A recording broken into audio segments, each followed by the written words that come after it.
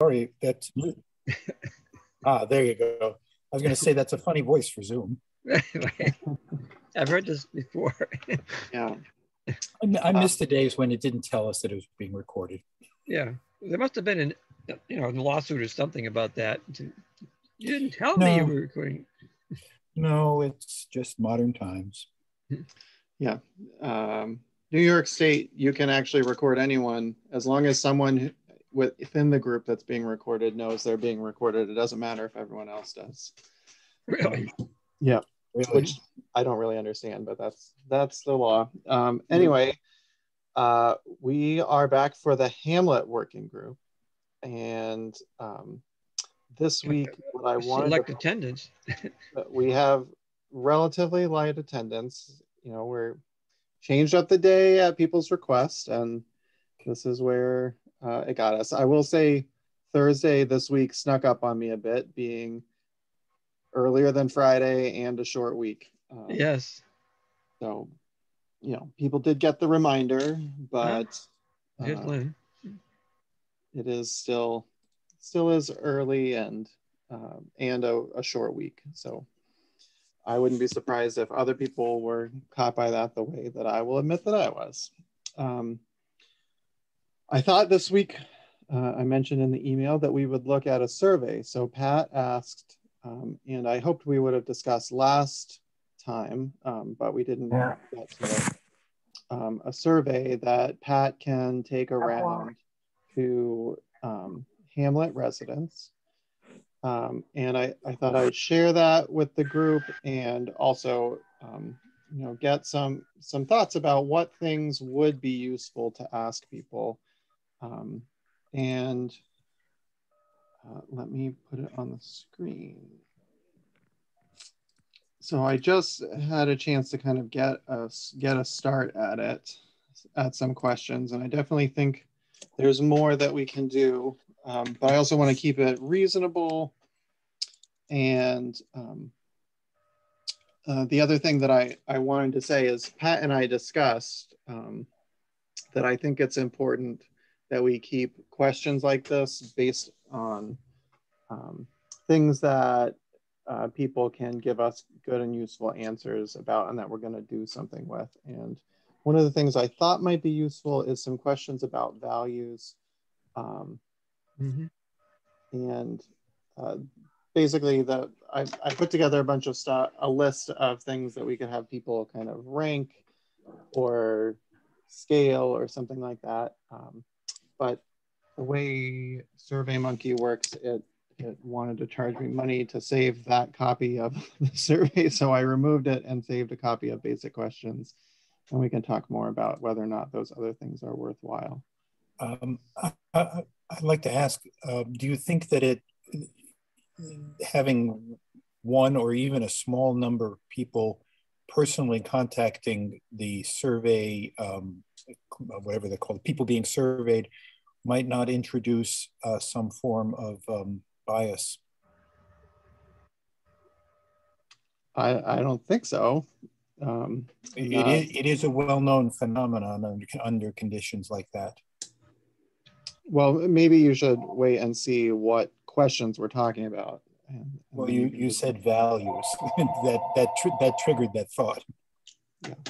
Well, Ted, for example, I um, encourage the Rose to complete the survey and attend the meetings, and Kevin and um, Gladys, Lacey Verona, I've encouraged them to do the survey. And I mean, it's it's just anybody, particularly you know along that I know along 96B.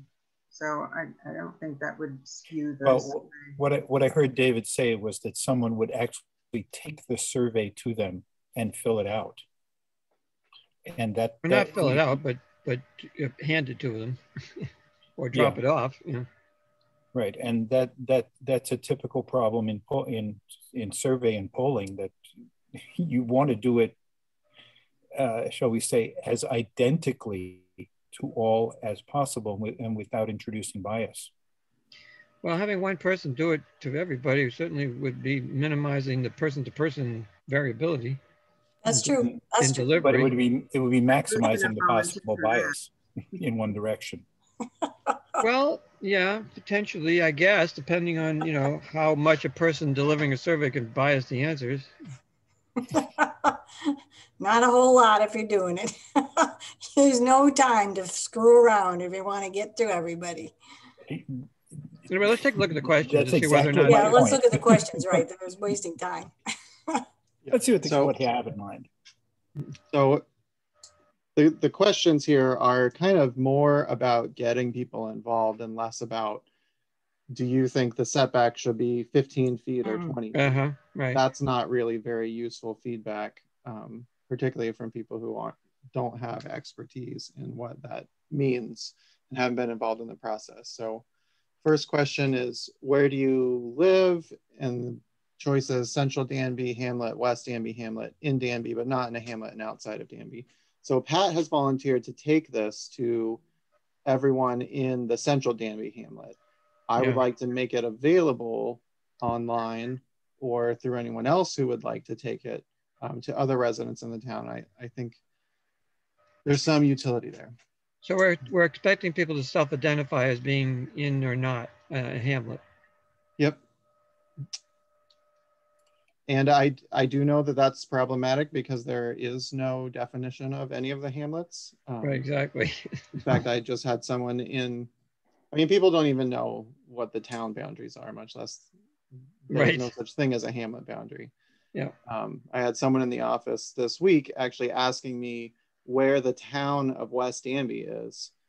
Um, and I had Well, to, they're- not the only ones who have said uh, that Yeah. of West Danby. Oh, you mean we're Yeah. not a town?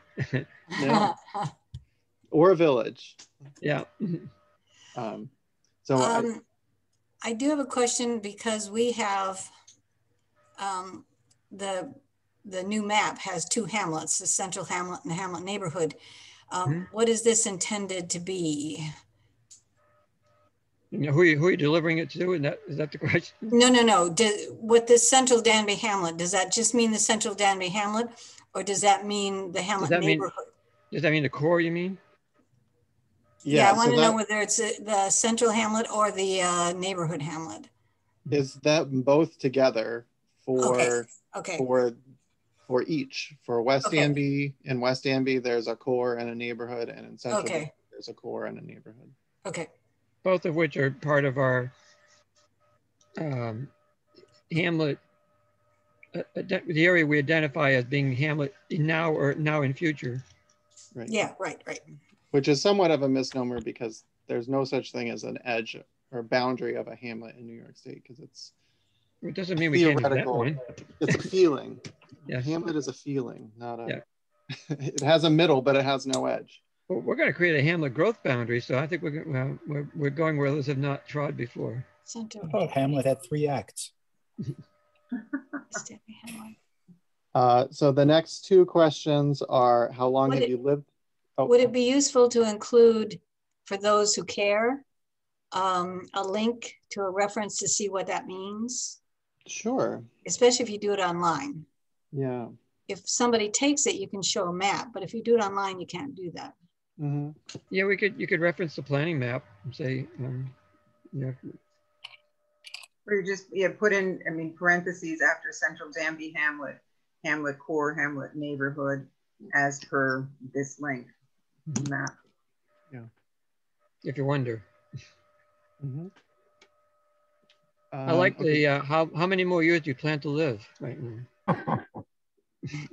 I think it's useful for people to think about. Lots of people have lots of opinions on the Uh-huh. 50 year future of a place they're going to live 10 years in.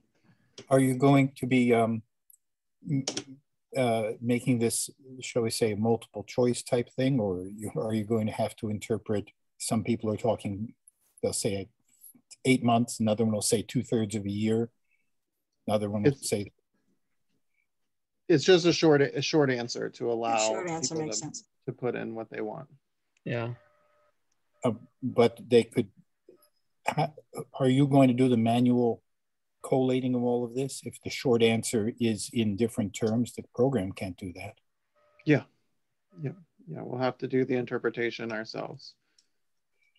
And there, there be people help with it too. Yeah, and it it's not the kind of thing where, for example, the median is particularly useful. It, Right. It's it's useful on the whole Mm-hmm. to get a con a sense, but it's not something that um, it's It's hard exactly. to have a, it's, uh, it's hard to get a short answer to number four. Yeah. So Uh, number four is if you've lived in the hamlet for a long time, do you like the change that's come over the last 30 years? Why or why not? Good. Um, Which I Mhm. think is How good. many characters do you have? And that could, some people will write essays. Uh, let's see. They could write an essay for sure. And that'd be, it might be interesting reading if they did. Yeah. Uh-huh. Or, or do you want to say limit to 200 words or something like that? I mean, Single text box.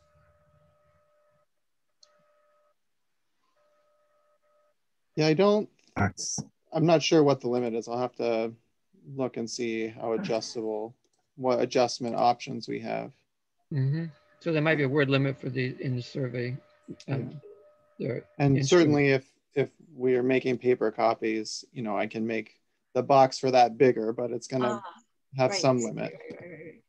Um, but you know, if somebody wants to go all in and write us a essay, you know, send it in. Why not? Why not?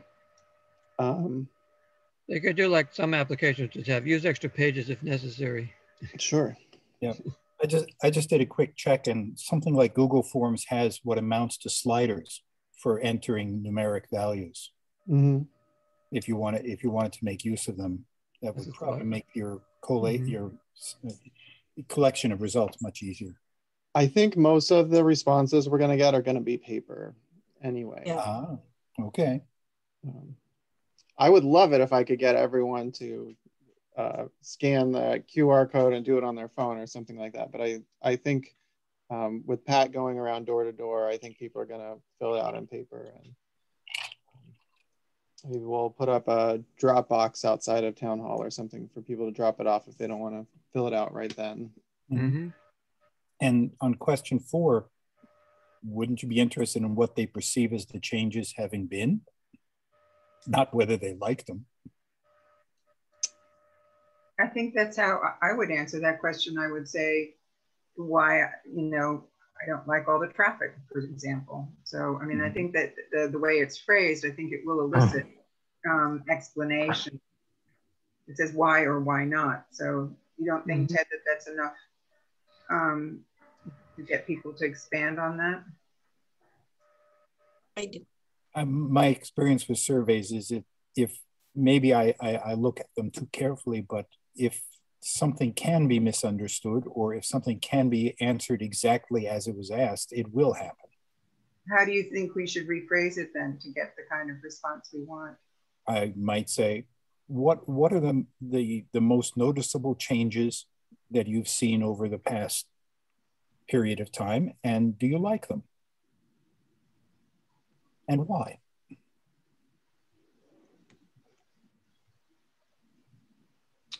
I think that's good.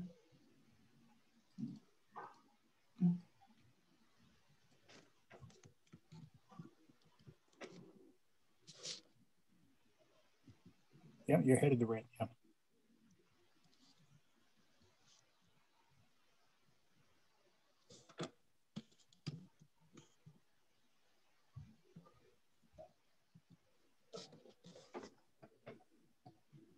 Okay.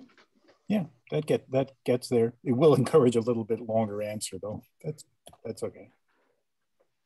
That's good. We want we want to hear from people. Um, number five, would you like to be able to add a guest suite or accessory apartment to your property that could be used by an aging or young family member or rented out for extra income? hmm Six, would you be interested in selling all or part of your land in the next 10 years? Would you like to be on an email list about zoning changes in the hamlet? If so, what's your email? Would you like to have a one-on-one conversation with the town planner? If so, how Hmm. should he contact you? Number six. Yeah, I have some, number six, I want to talk about that too. Number six, you- yes. Do you mean do you mean property or do you mean land? The word Um, property would be better. It, it it allows the answer to go either way. Okay. Once again, that's a multiple. I think that could be a multiple choice. The answer would be no, maybe. It could Yeah, right. happen, or I'm planning on it. Yeah, that's a tricky one because it could be that somebody has a property, say like, I have 14 acres and I'm thinking of selling, I'm going to keep the house and sell off 10 acres. So Right. that's basically the kind of information that we're Yeah. trying to get at. Right. So I don't, I wonder how we can, Well, all or part I think you know, that's- prompts that thought. You know, I mean, oh, I might be willing to sell part of it, but I'm going to keep part of it. Yeah, I think you should also, as- in- I think you should also include a question about whether or not they'd be interested in having information on a conservation easement. Um, Well, not in the hamlet. Not in the hamlet. yeah, Well, in the hamlet. why I not? think it is a good idea to keep it this way because then they answer, um, it, it's not a short answer questions, one or one or the other, because But especially if it's. what part- if you own enough property? There are people in the hamlet who do own enough property, right? for sure. Yes, but the hamlet is where we Hamlet's want the thing. growth to happen. So why Yeah. would we be asking them if they want to keep their property from being developed? Right, right. That's a bad idea. well, uh, for what it's worth, I, I might suggest the word, um, would you, are you considering or basically a word considering instead of interested in it. So you're not asking, do you, could I buy your land? No, you're saying, would you consider it? It's the same thing. I, I, I have that, consider is just the same. So that has been my concern about this when I've seen this question posed in other meetings. I, it sounds like we're asking them if they'll, if they will, would sell it to us or that's what it, that's what I feel when I see that. Would you be interested in selling? That's a real, that's a realtor's question. So let's What- change what that. would be a better way to say it? How, would be how- what would be, yeah, what would be better?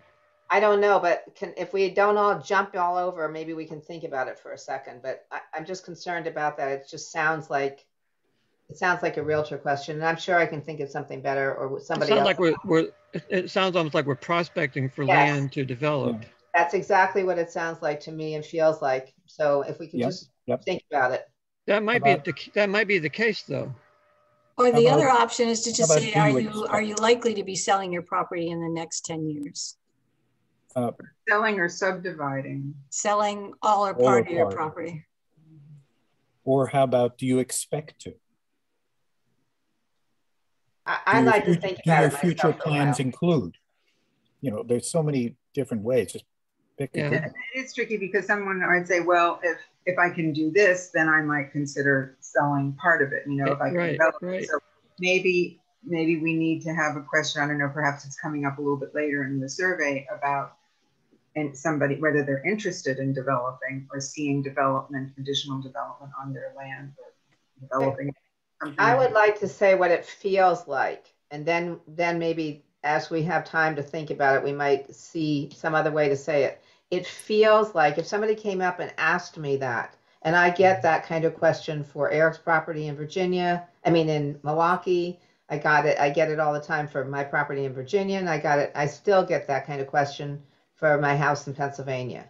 Yeah. And it always feels like somebody's somebody's out to get it for their benefit, not for mine. So I, I think that I'm sure there's another way to say it, but I, for me, Yeah, I, but it's, I it's not unlike, I can think about it. it's not unlike somebody fishing for a lot. You know, would you be willing to sell me a lot? You know, um, How, how about simply asking for frame of mind?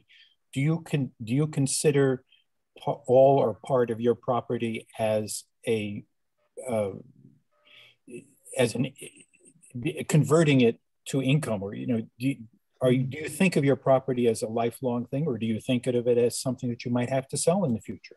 They're all leading questions. That's Yeah. the problem. They're all leading questions. Maybe can we just go on to the next and Yeah. not have this Yeah. one be final?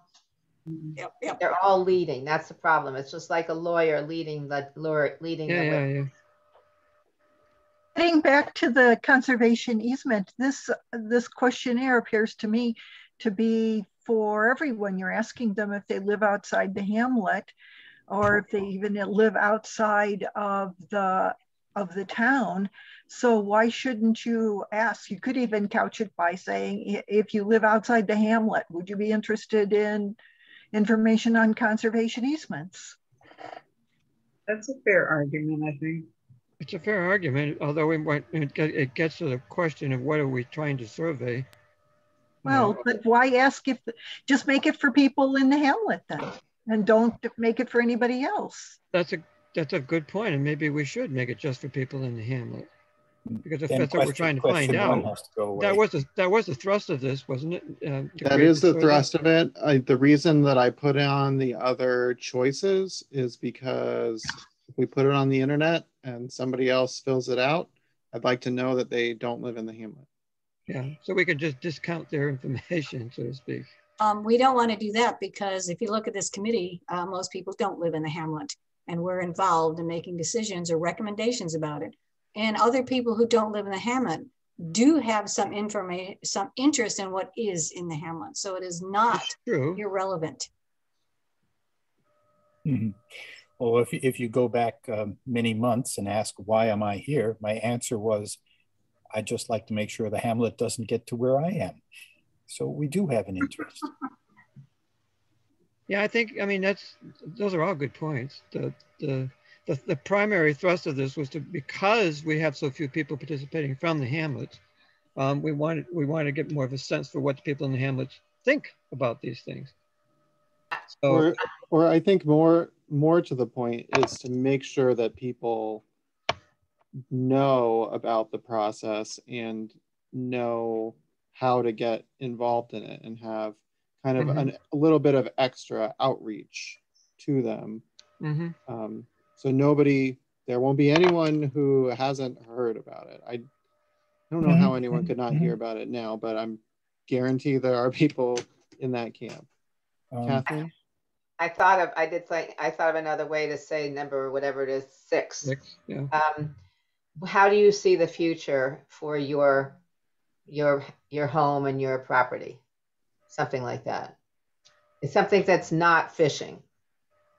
That's one. That's a different vein. Maybe somebody comes up with a better way, but it's a different. How about vein. asking it in reverse? Do you expect, if you own your property, because that's another point I want to bring up. If you own your property, do you expect to to keep it for a long period? Tied into that question earlier about how long do you plan to live in in the in the area? I still think that's leading, Ted. Still sort of leading. Catherine, I like Catherine's formulation, and but maybe and then have multiple choice answers for that particular one. So you say retain ownership um, of all the land, subdivide potentially if possible or if appropriate. I mean, something yes. That gets at some of those options and, and gets them to think about it. Yes, by the way, thank you for putting that one in because that makes a big difference. What, the renting and owning? Yeah. Yeah, it does. Yeah, uh, yeah I was going to bring that up, so thank you. Not necessarily because we we we may have a lot of people who rent in the hamlet rather than own in the future. In the right. Future. So, so, so, any question about selling the property or uh, other things don't really right. apply. Don't apply if you're if you don't own it. We exactly. Um, I think we want to keep track of the one focus on the question was 10 years. So uh, if that was the fo a focus of the question, we want to put 10 years back in. With a statement up front to say that we're, we're interested in what will be happening to the Hamlet areas within the next 10 years. So let people know what they're talking about. That doesn't get to what their particular property is whatsoever. Huh? Huh?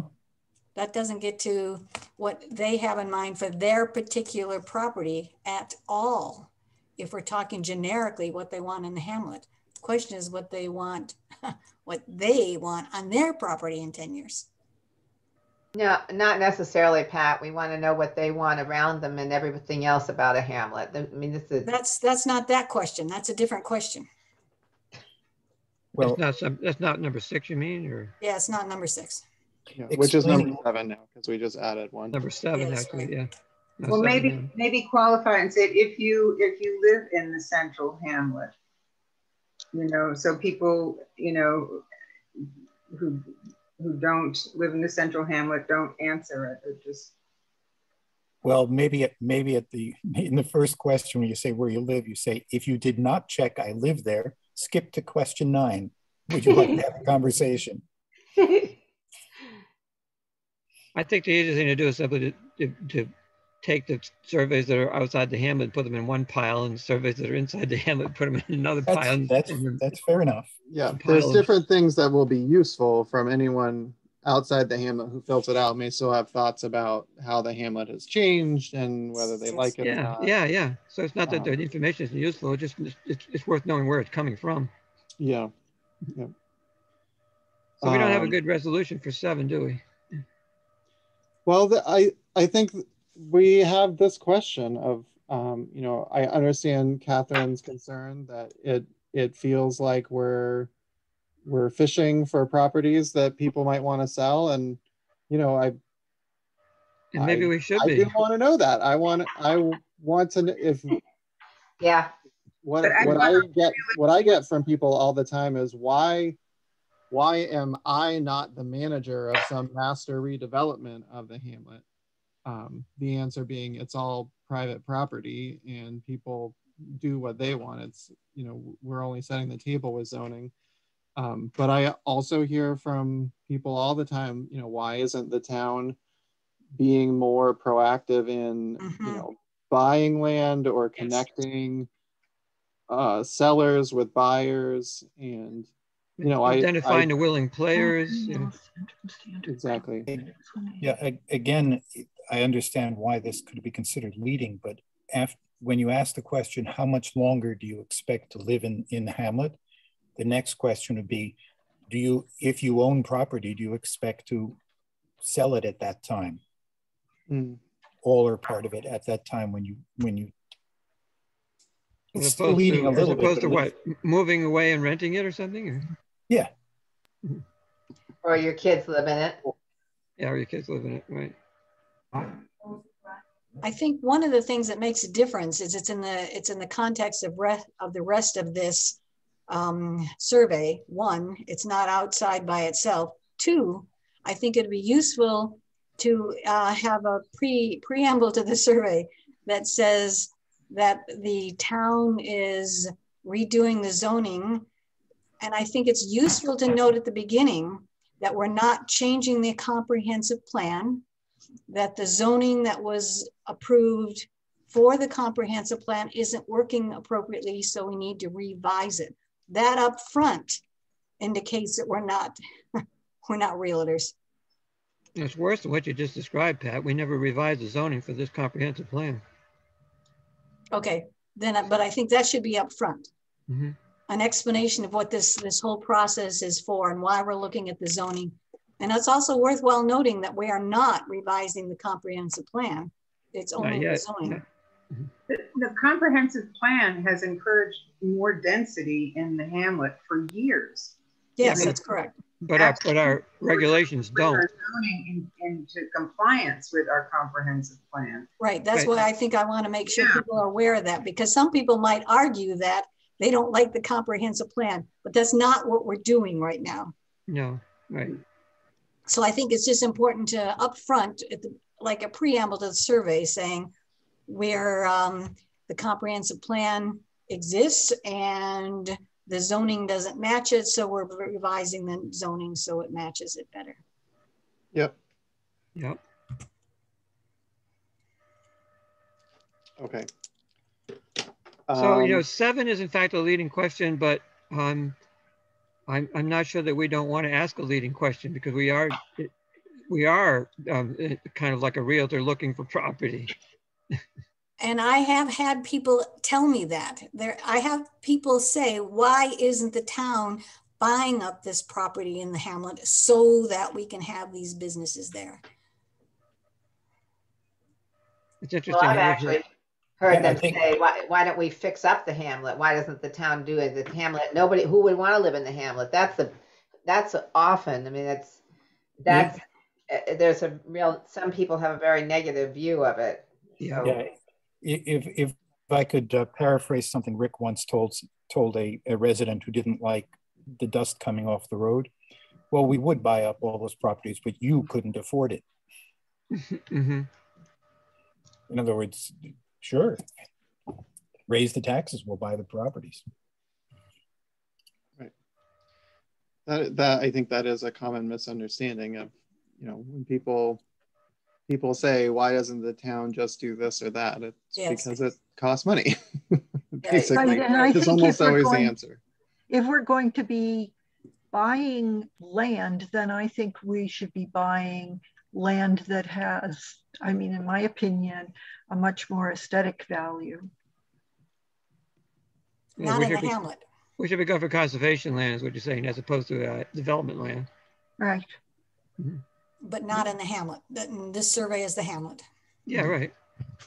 Right. And where I don't think we're not currently at a point where the town would really be any pos- in any position to be purchasing land Correct. in the hamlet. Um, I don't think that's anyplace else. currently on on any agendas.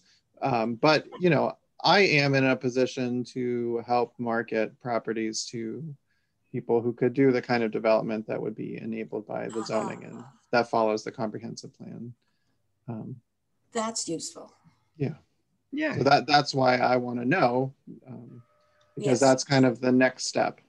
You know, Okay. after this is then trying to get people to come and enact the the town's vision. Do what we want, do, do what we say we want. Right. But David, if the property next to the town hall came for sale, the town would hopefully buy that. Or facilitate. If it, if it were, if it were available, and and of course, availability is partly a matter of checking into it. Um, it would be something that we would, I think we ought to seriously entertain. I mean, you bid on it before, I mean, and then it just fell through. but- Mhm. Yeah, we're, we- we're, we're not uninterested in that property because it's, you know, its proximity to the town hall makes it an important part of the, of the Hamlet core area. Well, let's take, for example, I don't know which property you're talking about, but let's take, for example, Chris Muka when he owned the house next door. And That's what he we're said, talking he, about. He said he would sell it to the town for $10,000 and Rick said absolutely not. He would not buy it. Big For $10,000, he would not buy that house and Right. that land. Um, Actually, this is about the second phase. After zoning is in place that makes all these things work properly, then we have to look seriously at how we implement and get this development here. So until we get the zoning right, none of the other questions are useful. Oh, I don't hmm. know. I think, you know, if, if that property were in play, it would be something we would, it would we just, it would be worth having just as sort of a placeholder while we get our act together. right. But it's not. So, it- and it's, well, I don't know that it is. And somebody wants to look into it enough to say, well, yeah, he's willing to sell. And, and and he- and uh-huh. if he, and if he were, it would cost It's this much. It'd be not, it'd be good informa- good information to have.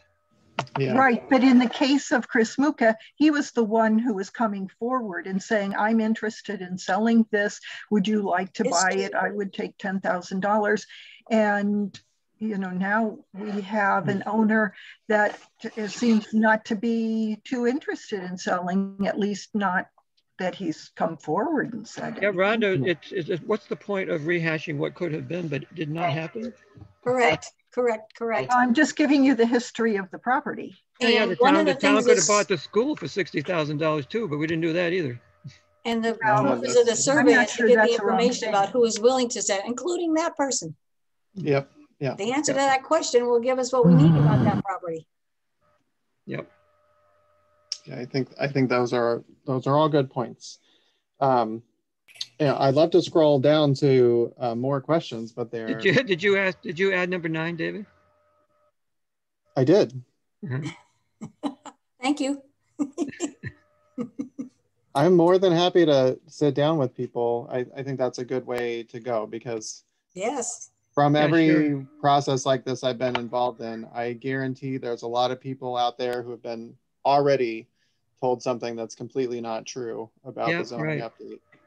And if they want questions about what does this mean for me, what better way than to ask guys putting it together? Yep. Yes. Are there more questions?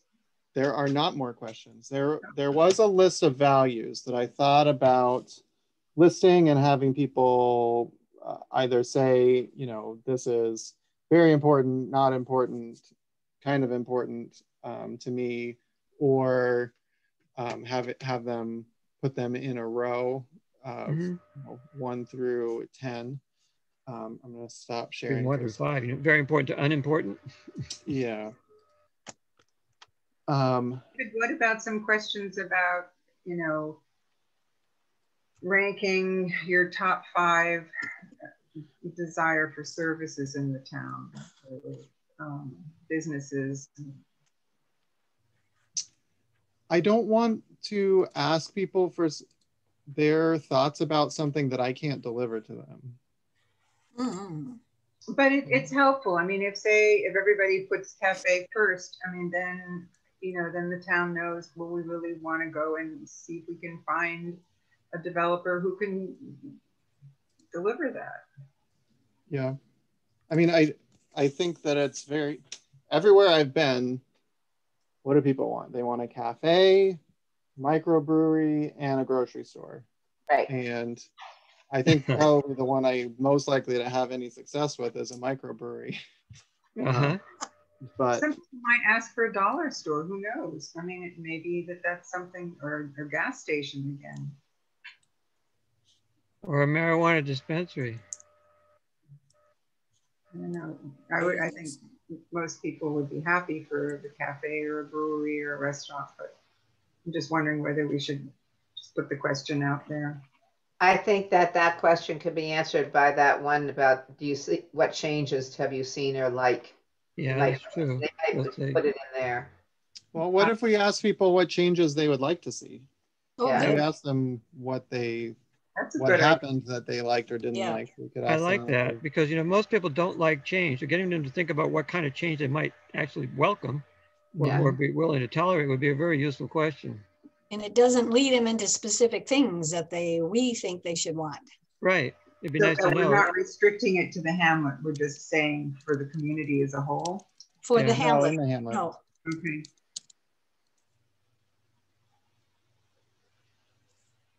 Hamlets or Hamlets, yeah.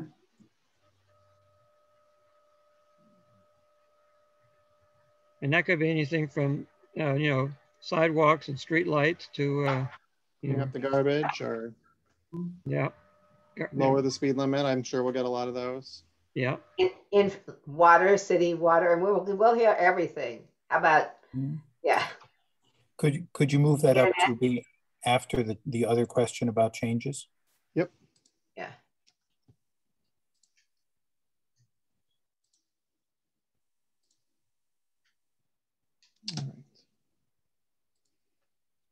So I thought I'd, I'd put up this list that I shared with Pat when we talked uh, a week ago. Um, Yes.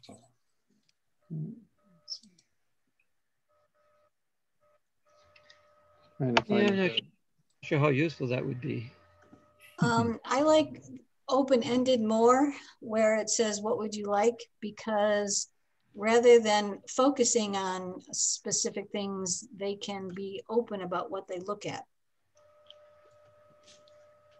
uh-huh. Not Sure, I follow, Pat. What do you mean there? I like the open-ended question we just made. What, Yeah. what changes would you Oh, okay. like? Okay, so, I mean, there also, you could put in, and why you like those uh, changes, that could give you to the values part of it. That That's would be useful as well. You want to ask something about sidewalks? Because, I mean, you No. could ask a question like, would you like to have sidewalks in the hamlet, even if it meant taking some of your front yard? hmm. No, I think we're a long ways away from Yeah. asking that question. Yeah, it's way too far away for that. well that's one of those don't ask if you can't do anything about it questions Right. And it's, and it's more reasonable for, for part two, and when the zoning's in a place, and then figure Yeah. what to get and how to get it best, that's where it would come up. Mhm. Yeah. Yeah, I think where we're at with questions is actually really good. And I, I think this values ranking, I kind of decided before, but I, I think it's probably not as useful. Um, maybe it's a separate exercise for another time. Mhm. In, in some ways, the, uh, the values makes more sense for the comprehensive plan than for the Mhm. zoning that implements the comprehensive plan. Right. We really already have have that. Yeah, Yep. Yeah, I think you're right, Pat. So I'm gonna stop sharing. Uh, I I think we've had some great conversation about that survey, and I I think it's in a good place. Um, I'll work on adding that preamble, Pat. Maybe like a little cover page for Yeah, it, and um, get you something that you can take around. Um, and you know, if anyone is interested in um, doing that work in West Danby, um, let I'll me do it. I'll do it. Okay. Um, Great. David, how is this survey now supplanting the one that you had sent out previously? that Or- survey No. was not for the hamlet. That was survey that was for the non-hamlet areas. That was a commercial. Yeah. it- Right, So so the, that- that's separate. I mean, I still haven't filled it out. I apologize. gonna put you in timeout. Um, the so the other survey was specifically commercial uses outside of the hamlet. Okay. Um, and we've been working in this group about categorizing commercial uses in the hamlet, and it's pretty broad what's allowed there. But we were getting feedback that people wanted more commercial uses in other parts of the town and different ones, ones that aren't necessarily walkable or. Um, Yeah. would make Or, sense or suited for the center of the hamlet. Is it too late to submit it still? No, go ahead. I just got uh, one yesterday, so go ahead and take a look at it and um, put in your two cents. It's always helpful. How, ma- how many total so far? Let me look. I didn't do it either, Olivia, so you're not the only one. I'm in good company. Uh, 29. Yeah. Oh, And If we get up to 40, we have to pay more money. Was that right? It looks like we might be safe. Yeah. All right. Um, get back to what are we going to talk about next? Can you give an update on the, um, the engineering project for the water? Uh, very little, um, other than that we are working on the startup paperwork. There's a lot of, anytime you get state money, gosh, is there a lot of paperwork in it.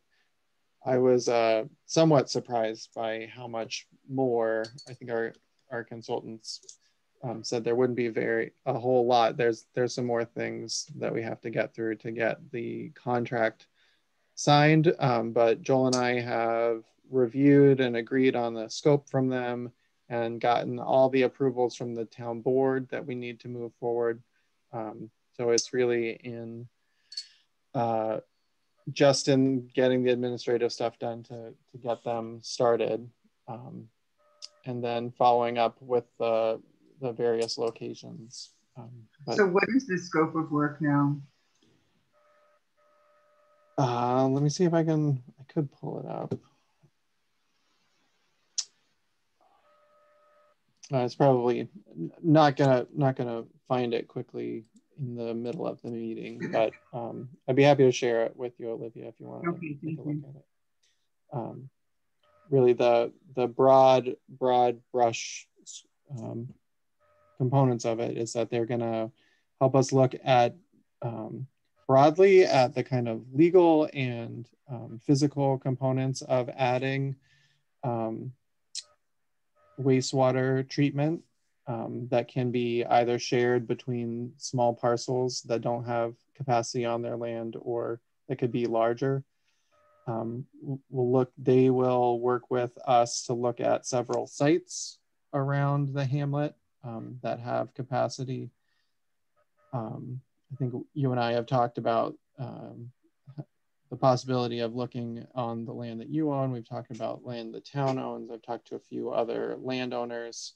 Um, was disappointed that the Dobson site was not in a position where they were ready to have any work done there. Um, I will follow up with them and see if things have clarified. Um, Dobson or the Dobson Park? Dobson. Yeah. the deceased uh, Dobson. Yeah, Dobson, not Dodson. yes.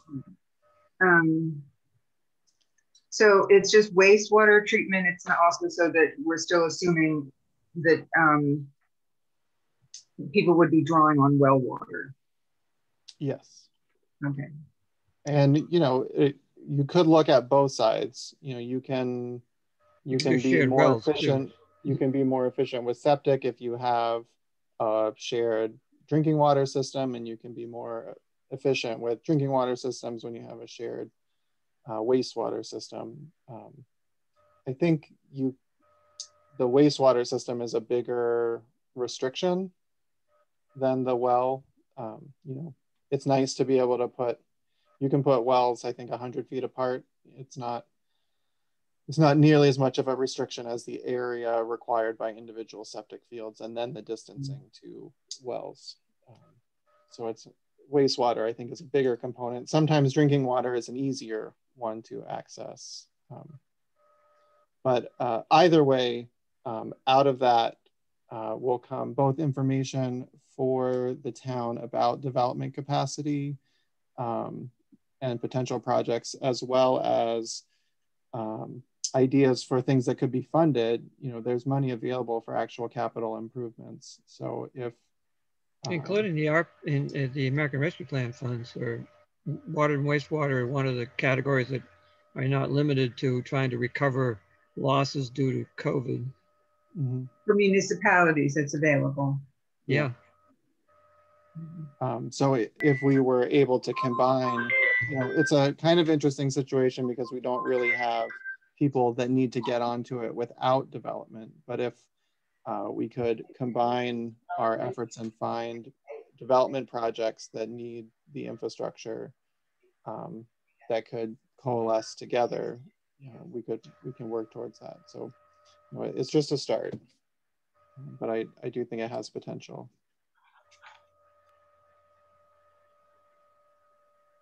And, and David, for the, um, I think you saw the email from me about Ben Rosenblum offering to do some rendering for based on the guidelines. So the American Rescue money wouldn't cover anything like that. It's pretty limited what you can use it for. It's either, it's either things that you can document are losses of revenue because of COVID since March of 2021 because our earlier losses were supposed to be covered by other the other money that came through before, or the unrestricted parts or less restricted parts are water and wastewater and uh, and broadband. And there's quite a bit of interest in doing something about the broadband part too, to extend broadband to underserved and unserved. Um, so I, I think that was what I, uh, remember where we were at. You got me a little, little off um, there. The, the, the other uh, thing that we were going to pick up and look at is just where we were at um, with the draft zones. Um, so I, am glad that we got through the, the survey quickly um, and we can go back to where we're at. Sorry, I heard somebody. No. Uh, we could go back to further reviewing the, the draft zones unless there's a, another more pressing topic anyone wants to bring up. A second to bring up the documents. Hmm. We were working our way through the, uh, not just, not so much the the where as the as the what of it, you know, the, the, the regulations within it, right? That's correct. Let's see here.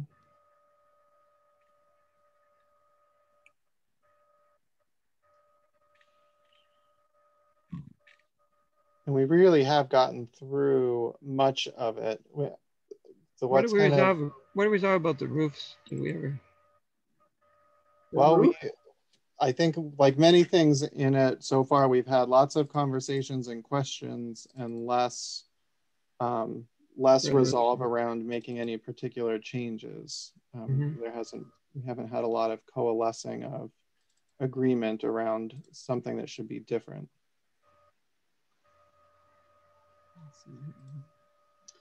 Looking at that building behind you, David, that's probably a 612.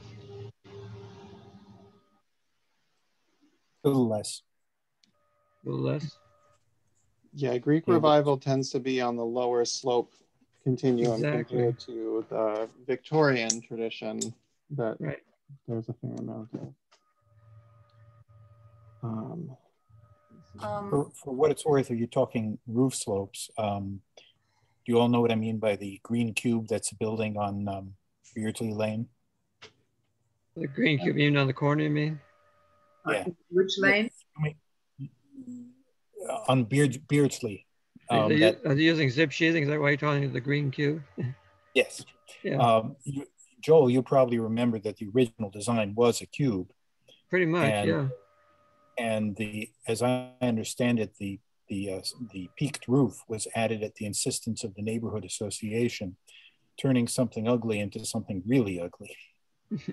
You mean the one on 96B there that's kind of in, in um, on the corner? Yes. Yeah. Oh yeah, yes, that is horrible.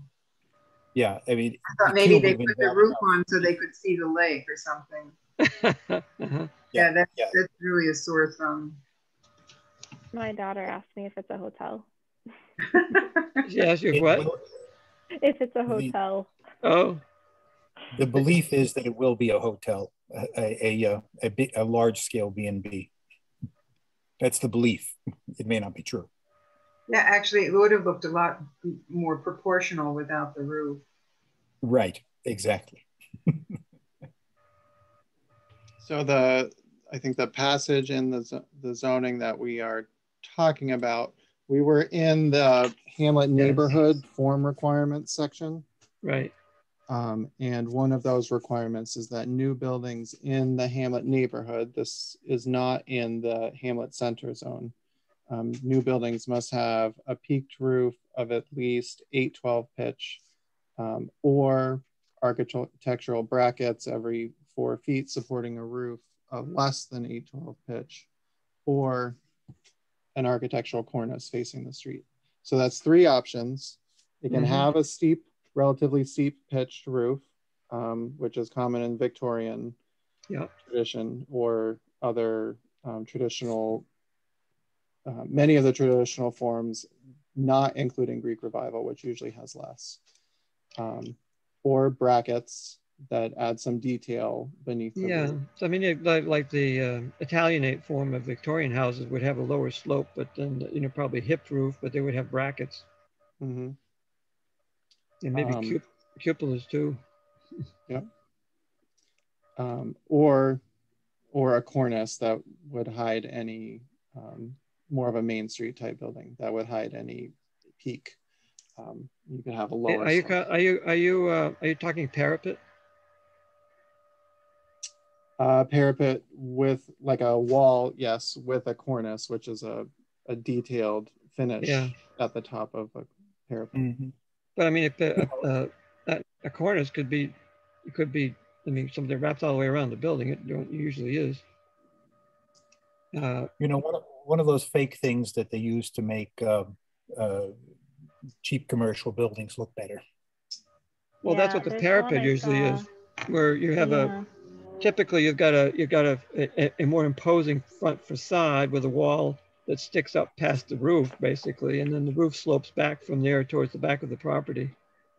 Uh, so the, yeah. from the front, all you see is the is the is the is the facade, which yeah, usually I, includes. I think I think uh, what's common in um, that's what used current, to be anyway. The current trends in big and medium box commercial, I would say, is a bastardization of an architectural cornice. Um, mm -hmm you know they're oversized and poorly detailed but yes but the same in uh, the same attempt to present an imposing uh, or impressive face to the public street.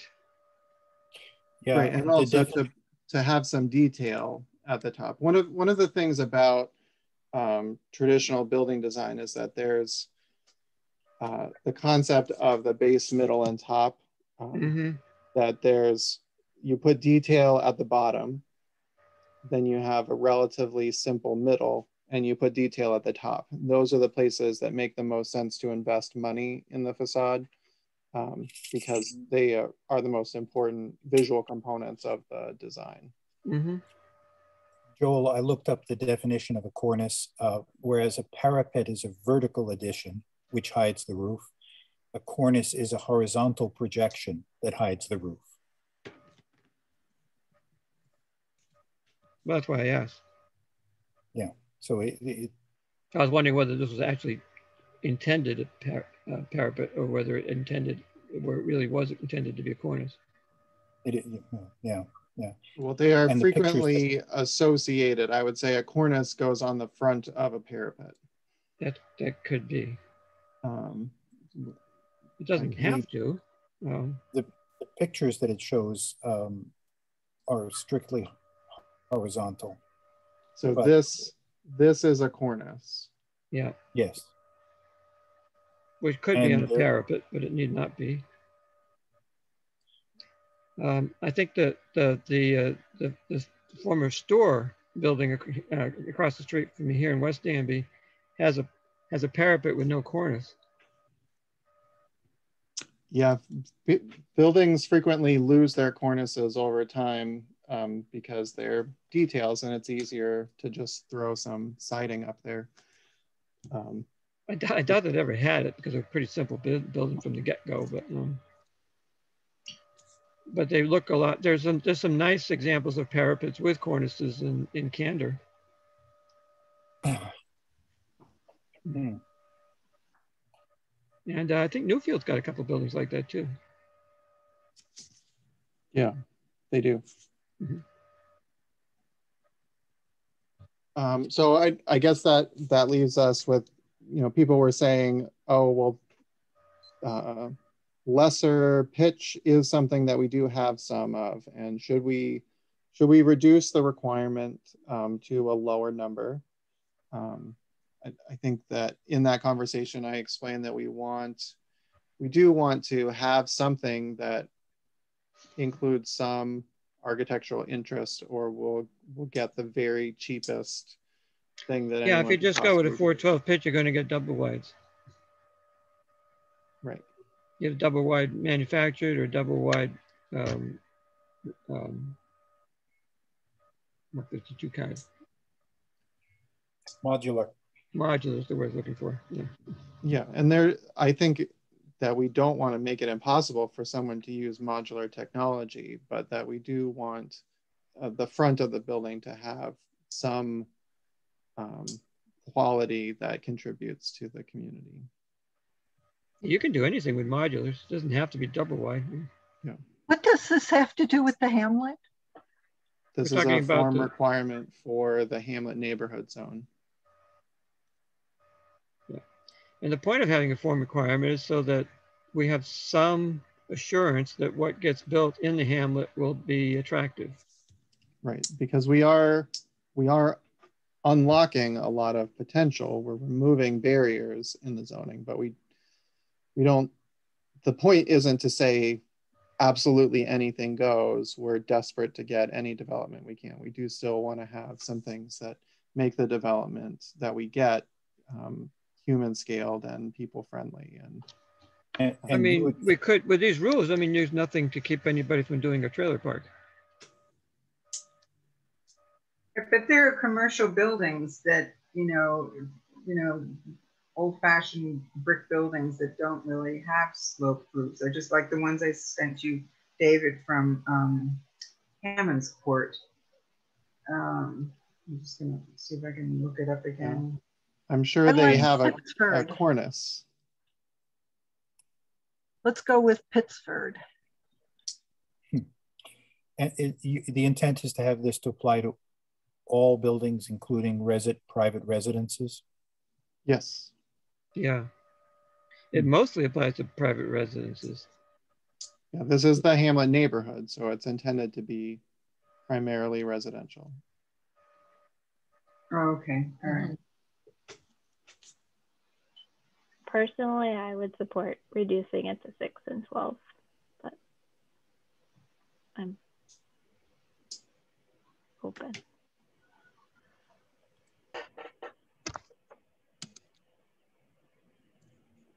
Hmm. My garage is six and 12. Okay. For what it's worth, anything steeper than about six and 12 is hard to walk on. You have to use, you know, staging or, So I'm just looking at the, the photo from Hammondsport and there's like a brick building and if you look at it from the front, it's two story and has big, you know, plate windows and the, the first floor and then the second floor has, you know, other windows, but it, it just, it has a flat um, facing Mhm. um, facade towards the road. yeah, so there's a, there's a good illustration of what you got. Um, I, I can send it to you, David, if you can put it up then. Sure, I'd be happy to. Just forward it to you quickly. Uh, on screen now is a, an image of what the various pitches are. So eight, eight, 12 is this one, six, 12, you know, it, it's kind of hard. You can definitely see the difference as you go, you know, Well, yeah, I yeah, think most of us can tell the difference between a 12 12 and a 5 12. Um, the difference between eight and six is, is not substantial. Um, Well, those Is- start is- to look a little flat compared to, you know, steeper roofs. yeah. Is there a, um, a building code thing or, or any rule, architectural design, uh, rule of thumb that says what, how steep the pitch has to be in order to use that space as living quarters? No, No, it has more to do with the height underneath it. yeah, the area ceiling height, height the ceiling it. height detect governs whether it's, whether it's uh, occup, um, counted as Occupied. uh, occupied space. Uh, I'm gonna stop well- sharing so I can. So I mean, it could be, it could be, it could be practically flat, still be okay as far as that goes. The, the relevant thing is that uh, shingles are not um, advised for roofs under 312. Mhm, So roof. manufactured homes are generally 312. Um, modular homes are generally 412. Subtle difference, but um, you can you can kind of tell which is which just by looking at the slope of the roof. Yeah, this is a nice example of a parapet. That's a parapet, yep. Mhm. Doesn't look like much. The one on the far left, you call that a parapet? Yeah, it sticks up above the roof plane. See, Right, but and the one on the far right, is that also a parapet? Like, you That's can't a parapet And with a cornice. cornice on it. At this angle, it's hard to say. It probably is a parapet as well. But that would be permitted in the Hamlet core, right? Yes. Mhm. It'd be permitted in Hamlet neighborhood as well, Yeah. It's exactly what we're trying to get. Yeah. Okay, a corner store or something. So I'm gonna close that. It kind of it kind of suggests commercial building when it's got the parapet. Mhm. It does, and we, we are allowing some commercial, um, Yeah, limited commercial, but also I, I don't think it's a, I don't think it's a terrible way to do, to deal with a residential building either. Which is, it's less common, but, um, yeah. I think we, we have the three options. You can have brackets if the slope is low or similar architectural detailing, or you can have uh, detailing of the top if it's flat, or you can have it be a steeper pitch. Now, course, could you do a Greek revival? If there's not, not enough of a cornice. Well, Greek revival frequently has bracketing or dentils. Dentils. you don't have that much of a pitch, the Greek revivals. No, that's what I'm saying. The Greek revivals are usually 412, 312, somewhere in that, you know, they're not very steep. uh, because they usually, they typically have temple fronts. Mhm. Which is also considered a cornice, although it, it's a different kind of cornice. There aren't too many people building Greek revivals anymore though. Although I did think about it. I know some excellent people designing and, and building them in other places, not so Yeah. much here. Yeah, They're com- they're popular for new development in the south. okay. um, you know, the, the way that the, uh, the commercial design guidelines that the town currently has deals with it is it just says you have to be built in a traditional style that's common in the area. And it lists a few, Greek Revival, Victorian, uh, Federal. Um, I propose these requirements as a way to still allow modern buildings while requiring some details. Architects frequently really hate this because they really want to be able to build a building with no details because they think that's super cool um, to be like the iPhone of buildings, 0 Mhm. detail. Um, What are you zero- saying, David?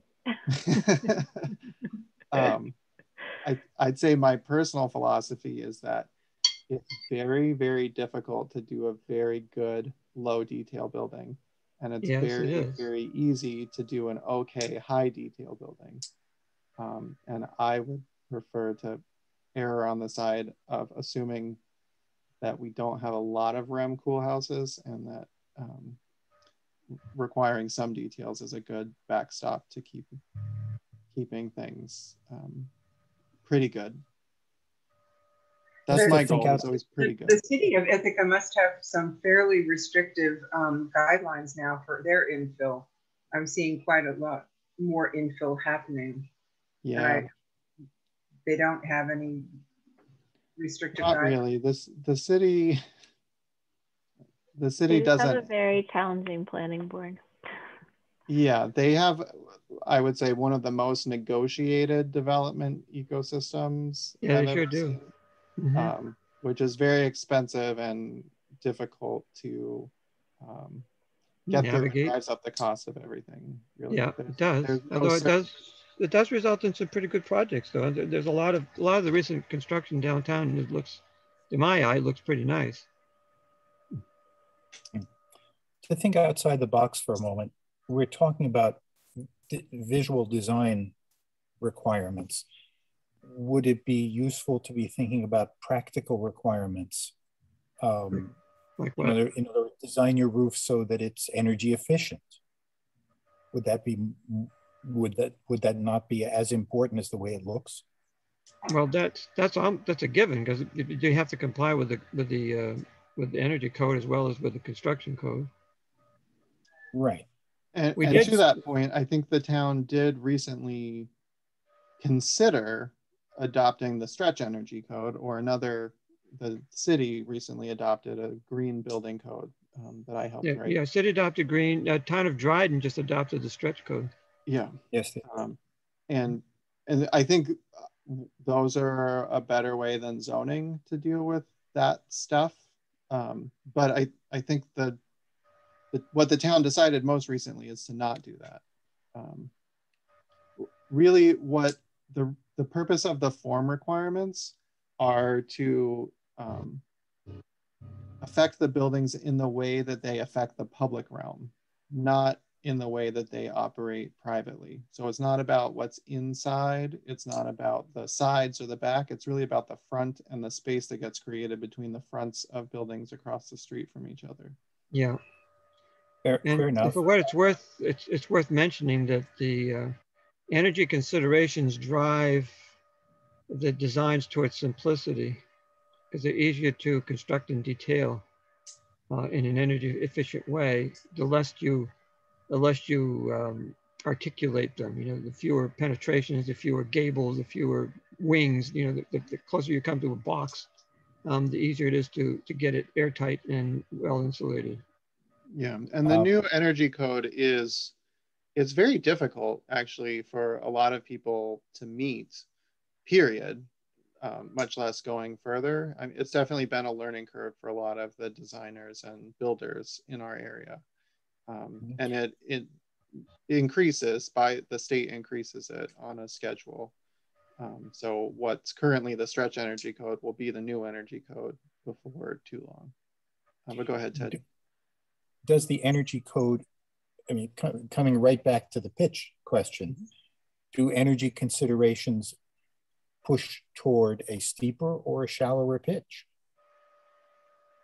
We shouldn't be making things look good if we're, and at the same time make it difficult to achieve energy efficiency. It doesn't make a whole lot of difference. Yeah, I mean, a steeper pitch, you can have more insulation under it. Um, there's there's a certain pitch for our latitude that would be ideal for solar panels to solar, get the most right, sun. which is which is close to 45, which is which is higher 12, pitch. 12, 12. Yeah. yeah. Um, but you can also you don't have to mount panels flat on the roof, so it's um, right. You know, I I have written codes that required solar ready orientation of building roofs. Um, yes. Which would actually be quite reasonable in Dan because that road runs pretty darn close to north south. Well, yeah, yeah but we, we're not necessarily talking existing roads, though. Um, I also th think, you know, with the technology of uh, community solar now, you know, I I rent and I have community solar. Um, and I'm not sure it's it's much more efficient to do that way than to put a system on every roof. Although I think it's great for people to put it on their roofs. Um, it's it's more efficient to construct, but in the long term cost effectiveness is much better if you put it in yourself. For for you as the owner. You for you, yeah, for the individual. Yeah. You know, cost of ownership is much better. Yeah. But, well, which raises which raises the other other point that I, I was kind of quibbling about. I think last time is that is the requirement of street trees uh, and the potential for limiting the ability to do solar on south-facing roofs if there happens to be and you know the street trees on the south side of the house, which on an east-west street it would be half the time. Uh, unless you're willing to limit the height of the trees, which you know, practically speaking, what happens is that the trees are limited in by the presence, if you've got it, um, which does, do the guidelines address uh, overhead utilities? They do. They give an exemption for overhead utilities from um, the tree requirement. But they don't require the. But they don't require that there be on uh, buried utilities. No. Because that would certainly add to the aesthetics considerably if we could bury the electric instead of having overhead, um, you know, utility poles and wires. I, I would certainly appreciate to see that that kind of the buried utilities. That does change the look so much. It drives costs though. Um, One very, I mean, just getting developers to build roads is very, very expensive. Yes. And then, we can address that as well um, by making it the road road specs narrower. Uh, Buried utilities mean don't mean you don't have power outages so often either. This is true. You have to worry about the tree branches falling onto the branch onto the wires. Yeah, I'm not sure how much that would affect the power outages that we'd experience in the hamlet because all the lines that run to it are not buried. Yes, so, well, that's true. That could be changed over time as well. With one would hope. Yeah, I mean,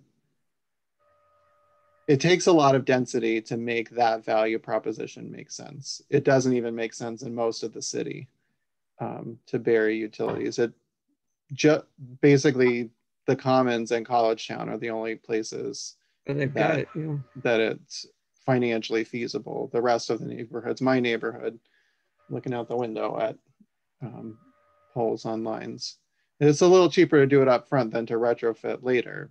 Um, but the Beardsley yeah. Lane, the Beardsley Lane subdivision has buried utilities. Yeah.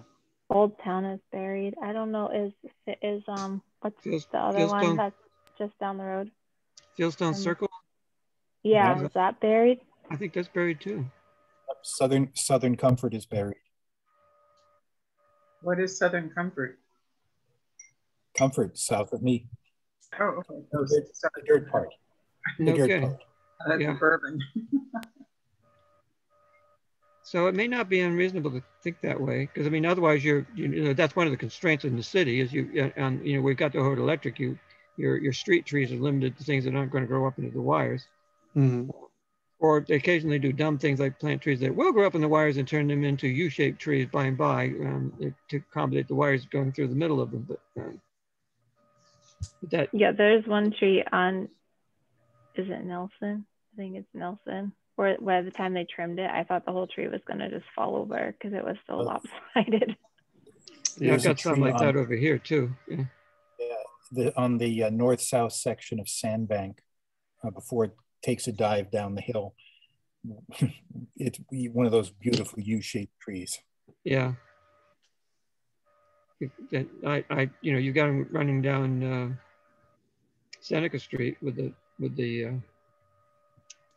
the honey locust, basically with holes in the middle for the accommodating the wires. Yeah. So, what do you think about requiring buried electric in new new st- streets?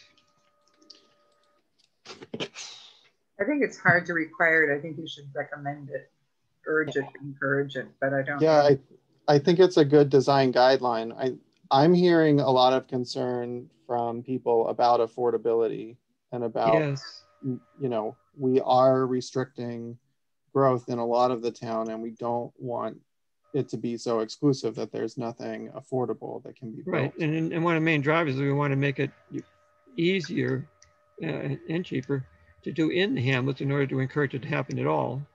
Yeah.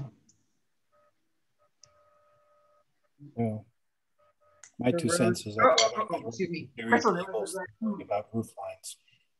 What's that? My two cents is I'd rather see buried cables than worry about roof lines, but the two of them, they aren't, they're, they're separate questions. Yeah. I mean, uh, Nate's Floral Estates in, in Ithaca Mhm. is a mobile home park. I think they got buried utilities there. And it uh, is highly regarded by its, it, by its by its residents and by many who do not live there as an affordable, you know, attractively, reasonably attractively landscaped residential neighborhood Mhm. In the city near services. You can walk to Wegmans. Those are mobile homes. Um, Um, I don't know about it being buried utilities. So um, they may have some utilities buried, but did Mike does Mike Kavanik bury his utilities on that on his um, mobile home park? This is this is Nate's. And there's definitely wires going over it. I don't know if that if they have wires. Yeah, there's a transmission corridor there. Mm. Yeah.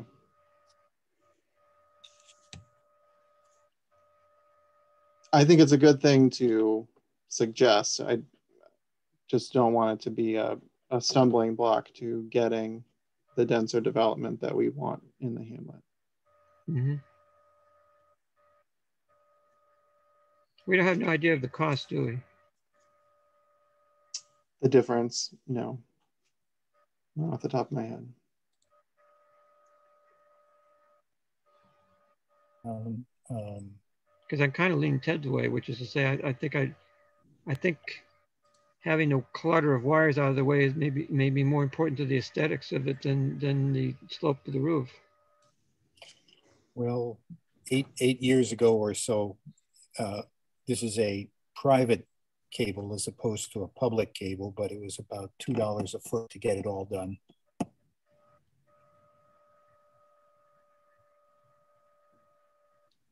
You're talking about running the line to your house. Yeah, you know, the, the, that's the cost of the cable, the conduit, and the digging. What do you do about retrofitting? Say like on my properties, they're already um, electric poles. So if, if someone, Grandfa- Grandfathered. You can't, Yeah, they're grandfathered. I mean, we're not we're talking about new construction here. Um, you know, if you put somebody puts in a new street, Yeah, if you're if you're saying what about a new house on a street that already has um, above ground wires, uh, NYSEG will run a cable down the pole uh, to underground. They can. Yeah, you have the Actually- option when when you do a new house, you can either you can either run underground to your house or you can run overhead. And if you, and I remember I remember the guy who works with me um, weighing which was which was the better one because they were not that different in price, but especially if you have to add a pole to get there. Mhm. Yes, yes. If you have to add a pole, you, you almost might as well run underground. Yeah. So, uh, according to Power Grid International, the cost difference for running per mile overhead transmission or underground line um, difference can be between four and 14 times more expensive to put it underground than to put it on poles. Um, Okay. That may that may be true for public lines, but for private lines, uh, NYSEG wanted a pole every few hundred every few hundred feet at about fifteen hundred dollars a pole. It was much cheaper to run it underground. Right. But I think what That's we're talking private about, right, what we're talking about is the public lines. yeah. I- I- Are we sure you were not talking about uh, in between that? You the poles, as I heard that Ted saying, if the pole is there, you run the wire down versus what, when I heard you say, David, and, and again, I don't know, whether we're not talking about the whole municipality being underground. I mean, although I like that, but if you, if you're talking about poles to a, to a development, or are you talking about the whole development being buried?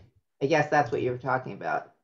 We're talking about the development, the development. So if, if someone, it's not a great example since Russ has his uh, property option to the solar developer, but if someone were developing Russ's property as a neighborhood, Right. like, you know, like Old Town Village, but denser and smaller lots, um, would they be required to run on those new streets, um, all the utilities underground or above ground?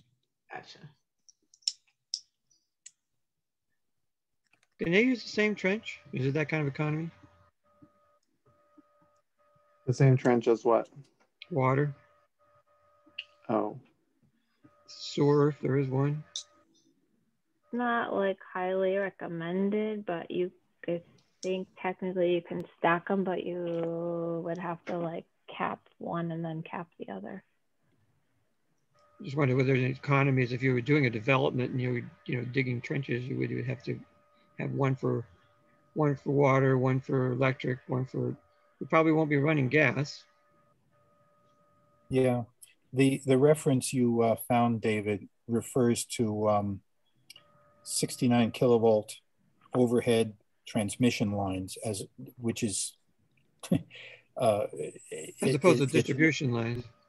yeah, as opposed to distribution line. It's uh, yes, putting those those high voltage, seriously high voltage stuff underground is is a technical issue. It's not the same with things that would be within our hamlet.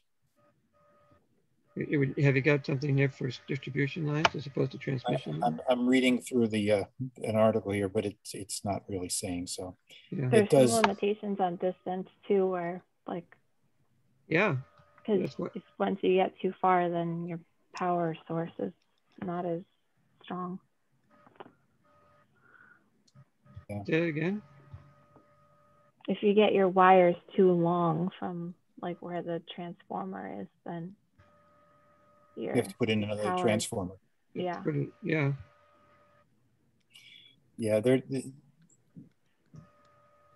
Yeah, this article, which references the article that David had, um, is is it's really intended for people putting in major work. Uh, let's see if I can try a different search. Um, While you're looking, I will say that every single thing in Reston is underground. The entire, the entire Reston is all underground. Um, never. And I hear what you're talking about. I know what you're talking about, David, about expensive expenses, but if there were some incentives, you know, we, I don't think we can decide this whole thing right now, but we could we could wish for it and and ask for it to be something that people would consider for the future. Mm-hmm. And anybody who's willing to put that, I mean, if I had the option for my house, my own in a development, I'd probably opt for it rather than having a line. I mean, if said people said they wanted to, great. I mean, in the context of climate change right now, I mean, if I just think of the storms that we had in the last two weeks, I mean, mm-hmm. it really makes a lot of sense to um, to get the lines underground. It's uh, yeah. a huge tree. I mean, we lost a huge branch um, from a maple tree, and um, Mark Berger, the, uh, his whole uh, poplar went over. It almost went on his solar installation. Wow. Um, so I, I think just from that perspective, it's probably wise. It's a good yeah. investment. The Wikipedia article uh, begins to talk about lifetime cost, and that's where maintenance and, and accidents become a big figure. And they, they say the lifetime cost difference for low voltage distribution networks, which is what we are talking about, is on the range of 12 to 28% higher than overhead lines. So it, at that point, it, it's not that much of a difference. Right, but that takes the entire lifetime of less maintenance to make up the right. upfront. True. The upfront costs are still meaningful. Yeah, that, that's true. Yep, it's one, it's one of those one of those drivers. There's so many drivers of you know why is why is housing so expensive? You know, the, the you can't build a house the way it was built 100 years ago, and uh, which would be a whole lot cheaper than we, we have to build them now. Not to mention that dollars aren't worth as much now. Is that true? But I'm, I'm talking even constant dollars. You know? yeah. And I hear the cost of lumber is half of what it was a few months ago. Well, uh, yeah, price of sticks is dropping, but not OSB yet. Right. Here's just another another example of, for comparison. Um, cost per mile for a single phase. Um, yeah, which is what we probably would have in most developments. Yeah. So it you know, it's significant. Um, it's not the end of the world, eh, but I. Well, ten thousand dollars for a mile. Um, you could get a lot of houses in a mile of road. Yep. Yes. Yes. That that that's actually a good point. That if you were if you were building a new street with a dozen houses, this is either number mm-hmm. is small. Any of those numbers. Yeah, I mean, I would say this is a if anything, a compelling argument for wanting it underground. Most people who are going to be developing aren't going to be going even a mile, likely, just behind their house or. Right, right. I mean, you're not going to. We're, we're talking. We're talking. Well, if we put if we if we added a mile of road, and if the lots were you know quarter acre or less, that's a lot of houses in a mile. I'm not sure where we're going to do that. Well, think of think of uh, Rick Dobson's property. I mean, yeah. you know, I'm, I'm just talking, you know, cost per mile. We might not, not add a mile of road. Well, you might, yeah, but that's a lot of blocks. David's saying, what, a block is 300 and some odd feet, David? Mm-hmm. Yeah, two to 700. The loop, of, mm-hmm. the loop of Old Town is just under half a mile, if you don't count old, um, buttermilk lane. So if you do like the loop plus buttermilk lane, it's about a mile. Yeah. And that would have been a fifteen thousand dollar expense. Yeah, that's negligible in the cost of that development. Mm -hmm. They'll probably spend more on advertising. and we're looking at, I hope, considerably higher you'll Spend more, you'll spend more on one roof, I'll tell you that. You'll spend more on the on the um, on the uh, catered food for the grand opening.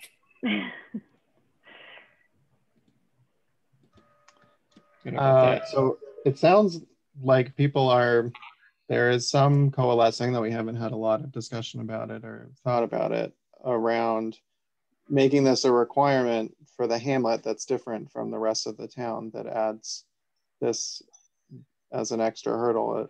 Is that where you want to go?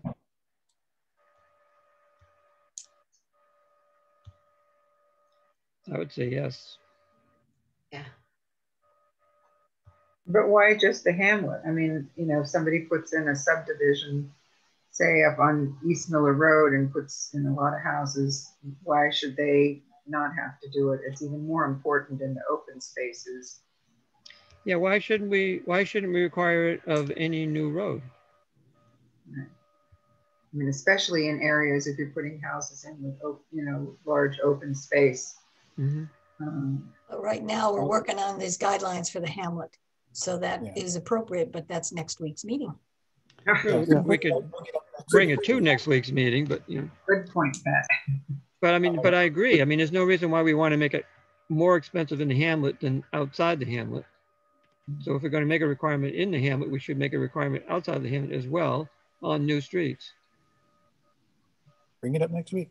It's a good, good point. Let me add one small nuance that if when you're running electricity, when you're running electricity or other utilities, um, it would be really forward thinking to run a couple of fibers, a couple of fiber cables at the same time. Very it would be. small added cost. Yes, that's right.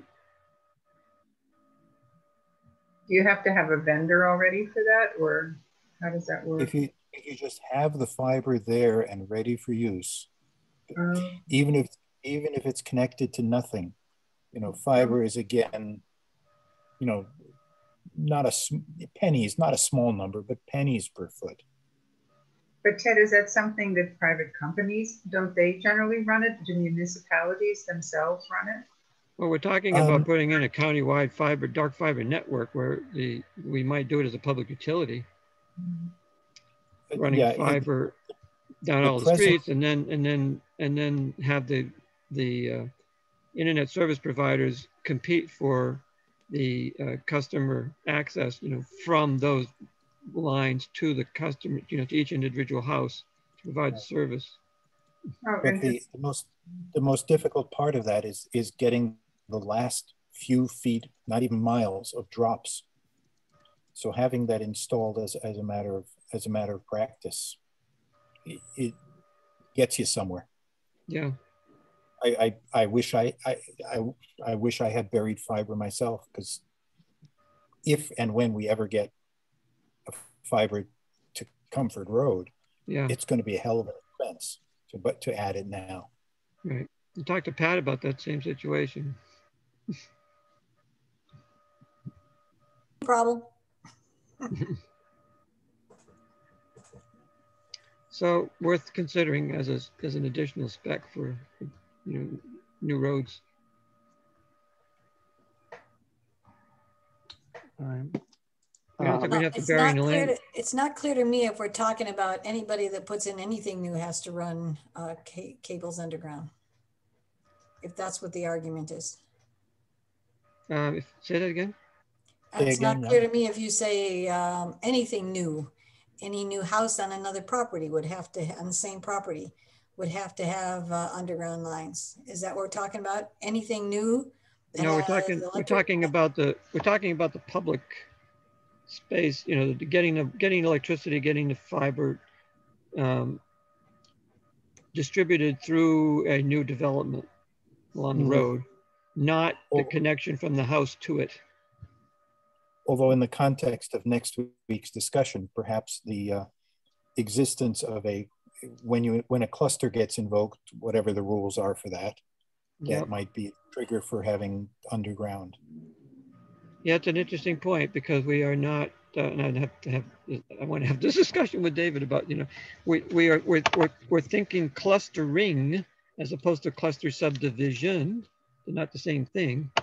Um, this is the first time I've ever suggested, seen it stated that they could be divorced.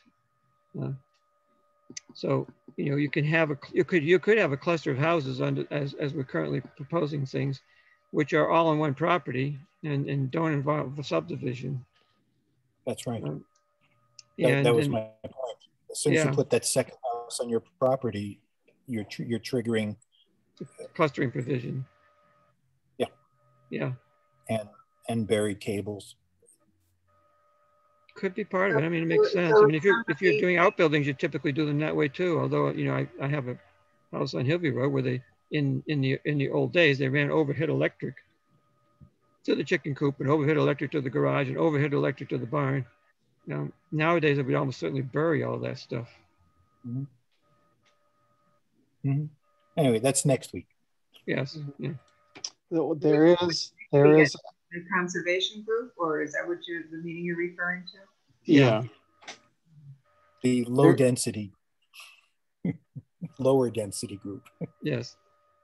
Uh, there is another option if your goal is just to get it out of the street. Um, Or utility corridors. well, having alleys. alleys. Yeah. Um, and there are codes that require uh, new neighborhoods to have alleys. Um, one example of how that works, um, a s- small new neighborhood in the city, I guess it's actually the town. This is the Belle Sherman Cottages neighborhood in the town of Ithaca. Ooh, Um, how nice that looks. No wires. it's Wow. quite nice, um, except there are wires. They just run behind in the alley. Um, so it's it's all served by above ground wires that run Mhm. underground to the houses. Um, they just run in the back instead of in the front, which is the part of the the common historic use of alleys is that that um, is a place to put the utility easements to have the, both the underground and above ground utilities in the alley, as well as where you pick up the garbage and hmm uh, where you park Show your the cars. alley Again, David, I'm sorry, Olivia. can you show the alley again with the Oh, it's kind of a weird site because of the stormwater. There's a big stormwater pond here, but um, there's the alley. And turn a little bit. So they only needed like two poles or something? It didn't look like a lot of poles. Oh, uh, it's hard to say. It goes back quite a ways. I don't know if I can see Mhm. maybe an overhead Oh, view. Yeah, I see a couple of poles there. Yeah. Um, as long as we have that picture on the screen, just to jump back to where we departed from uh, talking about roof pitches, Mm-hmm. Let me jump perhaps back in that, there. perhaps that picture would be a good example of roof pitches and what it might look like in a hamlet. Come on. This is off of Mitchell, yeah. Hmm. We've got a couple of places in Danby where we have the wires running behind also. Oh, that's not where I want to be. Zoom out. Zooming too fast. There we go. So one thing that's interesting to know about this development is that um, this developer, Toby Millman, um, he said he would never do it again um, for a combination of reasons. One being that the town of Ithaca was difficult to work with, and two being that he, these are all LEED certified modular buildings. Um, and the installation was really quick and um, i think they did a good job and STREAM Collaborative locally worked with them on it um, but these sold in ithaca for i think between four and five hundred thousand um, and now they're selling for more they've gone up in value of course um, like everything Right. else in the tight Right. market. but he can install the exact same house in the market he more frequently works in outside of DC and charge twice as much for the same amount of work. I Um, contacted him years ago, but he never responded because this was Yeah. kind of my ideal. yeah, Uh, yeah. So basically, he just thought we didn't have a good market, and these were um, the profit margin was too thin for doing these buildings. But he does big tracts then. What's that? He does big tracts then. he's a he does um, a variety of scales, but it's just that he usually does them in places where they sell for much more. And as much as we talk about our housing being expensive, and as much as these were expensive for the area, especially for the lot size, um, it's just not what you can get in other places. Yeah, and the cost of construction is still pretty high. Mm-hmm. Maybe there's somebody else who does something relatively similar who can do it for, or we find somebody local who can kind of mimic that. Um, Yeah. I mean, I don't know. They are the market. That, that is the market, and that's what we're up against. Um, mhm. the- Uh, but I, I, so I, I only say that because I do think it came out really, really nice, and I, I want people to understand when they look at these that these are half million dollar houses. yeah. And what's the what's the pitch on those roofs? Those are, look like they're they're probably Yeah, that, that, that was my point.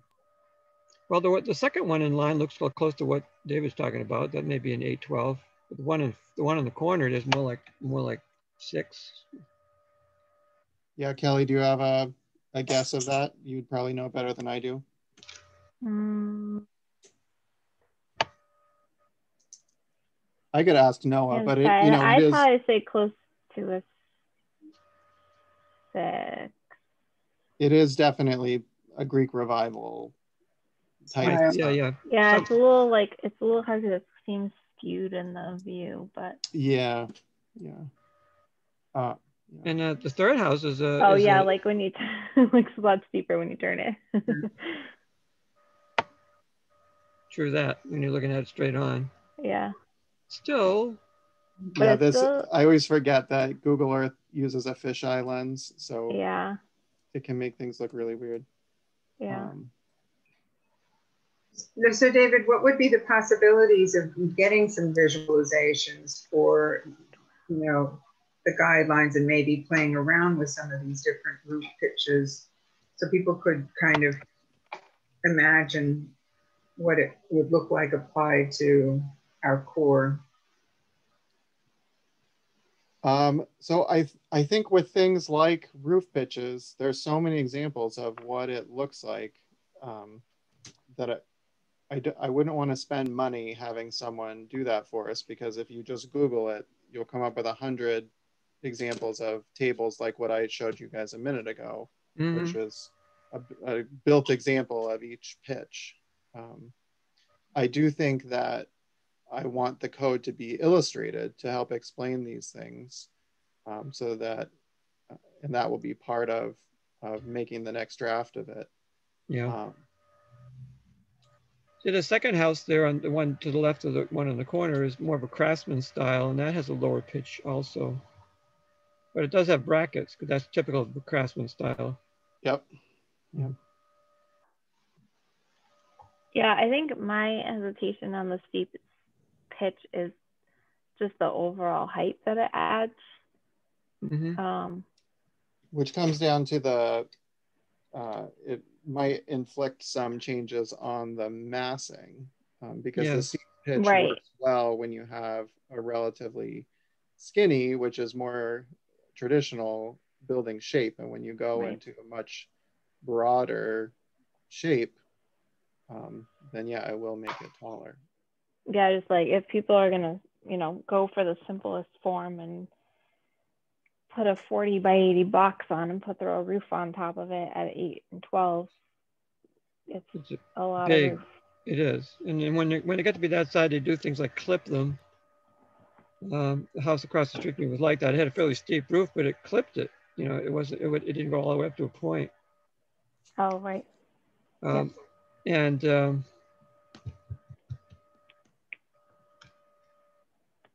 yeah, and then they, and then the architects nowadays are fond of adding extra fake gables to, to, to try to reduce the huge amount of area that's with on, in that triangular space. which I think should be illegal. If I was going to make any style illegal, that would be it. Yeah, the, the, the, the gableitis. It's the worst. the worst. It does. one- it Well, does break it up, but uh, That was the purpose of my question when I asked, you know, how does the pitch affect the livability of it? You know, wh- when you've got cases like these where the um, the roof is literally above the ceiling of the floor below it. Mm-hmm.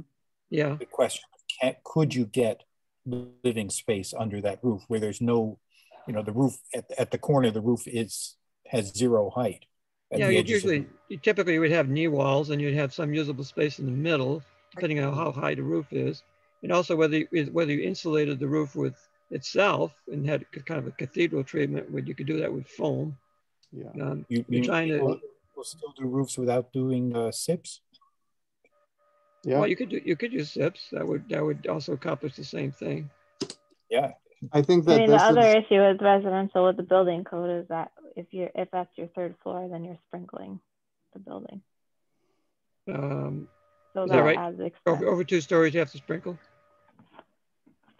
That yeah. Um, I there's believe, right? also, I I don't do much residential. But that's my understanding. there is a, there is a way to do unsprinkled three-story walk-up, um, but there's a limit to how far you, how far it takes to walk to the exit. Mm, Okay. No, I'm sorry, that's wrong. That's elevator. You can do a third floor multifamily without an elevator based on the walk. Well, I know for a long time you couldn't you couldn't have occupied space in the third story. Uh, and then and then uh, the, the code changed at some point, and a lot of the third stories in the older buildings became usable Again. again. Um, on the the question of roof form, I think this is an example of you know going the bracket route instead. Mhm.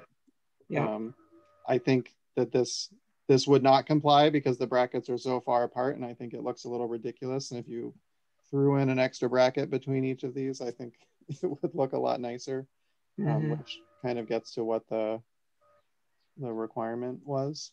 Mhm. There's, there's, it was that every four feet, did it? Yeah. those look about every 12. Oh, I don't know. It could be ten, but anyways, they're pretty far apart. Yeah. What qualifies as a bracket? I'm not following. It's a bracket. It, it looks like it's holding up the roof. Oh, I see. Okay. Hmm. The It's just a non-functional little- roof there. So they're they're visually supportive, even though they might not be physically supportive. But sometimes they are physically supportive. Um, I think the example I showed last time was what I consider kind of the the minimum the minimum quality duplex um, in this development here. Where did it go?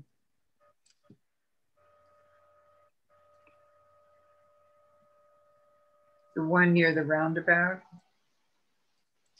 Um, is it farther down?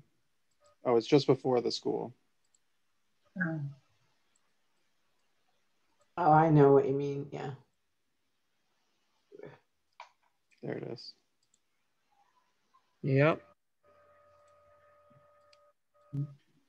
This one. It's kind of my minimum okayness.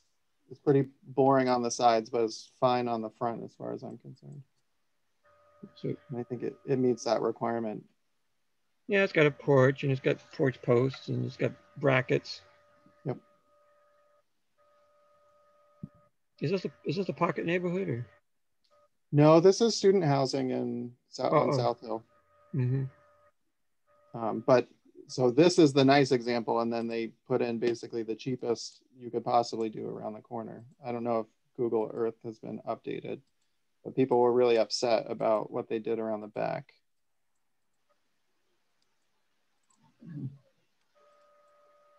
Which they kind of shoved these up against the property line. They're all the same thing. They're prefab duplexes that follow the town's um, maximum number of unrelated persons rule to create student housing on this Mhm. lot.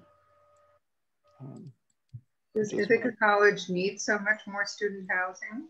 yeah, I think so. And there's a, a, a major new initiative happening on South Hill. I mean, literally taking out the whole hill. Doing something there. Oh yeah, that up that apartment building. What is it going to be? Uh, it's right by the the cell tower there. Yeah. like- Right. Okay. I mean, that's major excavation. yeah. It's, it's kind of a chicken and egg situation. Given more housing, they'll get more students. And heck, having more students, they need more housing. Mm, Yeah, but don't- aren't they facing a situation where they've had de- declining enrollment rather than increasing? Uh, that is correct. That is, that does not follow. There has been declining enrollment and part of it has come from the fact that there's declining uh, student population period in the country. Yes. But there's certainly still a shortage of housing for them. They compete with other people in Ithaca. It's part of what makes it so expensive to live in the city. This is where that other apartment is going. Mhm. Oh, where this empty lot is, empty spaces now. Yep. Sort of. Terrible for traffic. It'll be better for traffic in the long run. Those people will be able to walk to school. Correct. Anyway, that's a, a little off topic. If we want to get back to, oh, we're pretty much out of time, but the, the, the text, we started talking about the landscaping requirements. Um, I- I'm Yeah, I still sure wonder about the the- roof, the roof. So yeah, so if we, if we, if we include the street tree requirement, we're basically punting on solar. I don't think that. So I live in the city. There's lots of street trees and there's lots of buildings with solar. Um, I don't think they're mutually exclusive. I think it's possible that in some cases, some street trees could make some solar installations difficult. But I think that having the impact that they make on the street is more important than making it. Making it requirement have a- to- Does it have a spacing requirement right now typed in there? It The does. It- trees, Okay, yeah. yeah. Well, they have to be, they could be closer than, but they have to be one every, every so often. There's a, there's a minimum distance, right? Between, let's see, one front yard tree for every 30 feet of road frontage. Right, and this is where I raised the concern because they're along 96B. Um, we're talking about new, we're talking about new developments though, keep in mind. Right, but if one were to put houses along, or buildings, uh, commercial buildings along 96B, you already have a problem with the lines there. I mean, part of the, the trees, you know, are V-shaped on my property because of the Yeah. line. Right, didn't, didn't, It doesn't make a lot of sense then to, no, didn't, didn't David say there was an exemption for the, for in the event that the wires are in the way? Yes, that's correct. So if you did trees there, then we'd we'd want something that's short enough that it wouldn't grow up in the wires.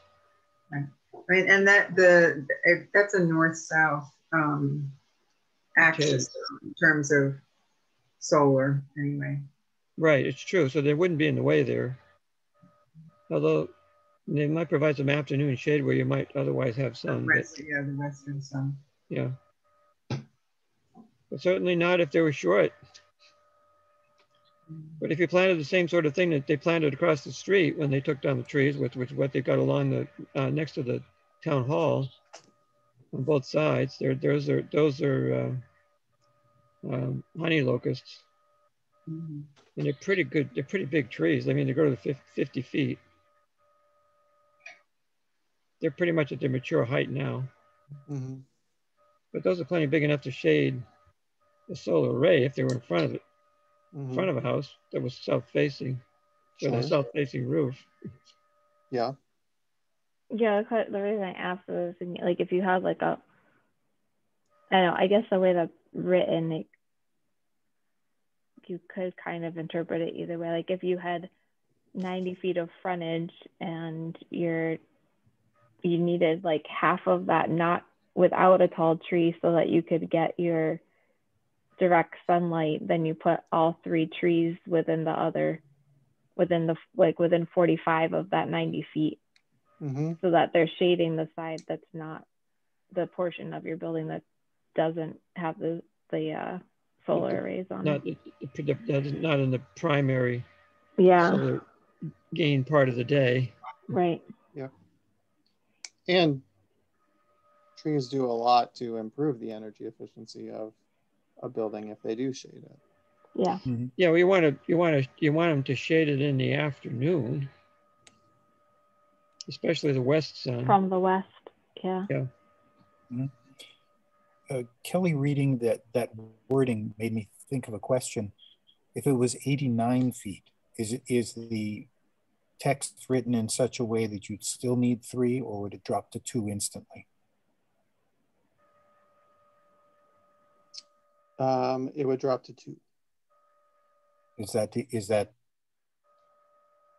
just posing the question? Is that what intended, or should it be for every 30 feet or portion thereof? I think it's reasonable. To, I mean, what we're trying to do is get some trees all along the street.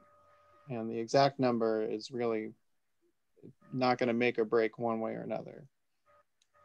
Um, 30 foot feet is a relatively, so some codes tell you what to space the trees. You know, you have Mhm. to have a tree every 40 feet, every 50 feet. Um, by not doing that, I'm creating some flexibility, but requiring a slightly lower number means more trees, um, but with more flexibility of how you, how and Yeah. where they get planted. For a lot of trees, 30 feet is very tight spacing.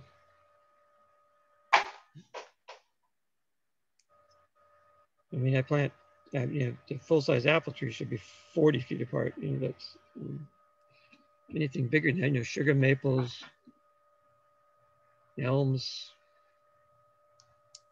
lots of things we want to do. that Most properties along 96B in the core are really, really close to the road. And, Yeah. um, I already had to take down, three trees in front of 1849, big pines unfortunately, and another big tree just because they were aging out and they were so close to the house. Yeah. Then there's the worry about them falling on the house. And it was incredibly expensive to take down those trees. It was devastating too, because, you know, one of them was still a perfectly viable tree, but it was so close to the house. It was just, David, can you, uh, how far apart are the, of the uh, honey locust to the left of you in the picture on, on the, on the south side of the town hall? Mm, Out comes Google Earth. so I can tell you that the honey locusts I have in front of 1839, that their branches are extending practically into the second floor windows. Yeah, right. But how far apart are those trees? Because that's a, you know, that, that would, that And I had spacing, One taken down, I already had another Yeah. one. that, that spacing isn't too bad.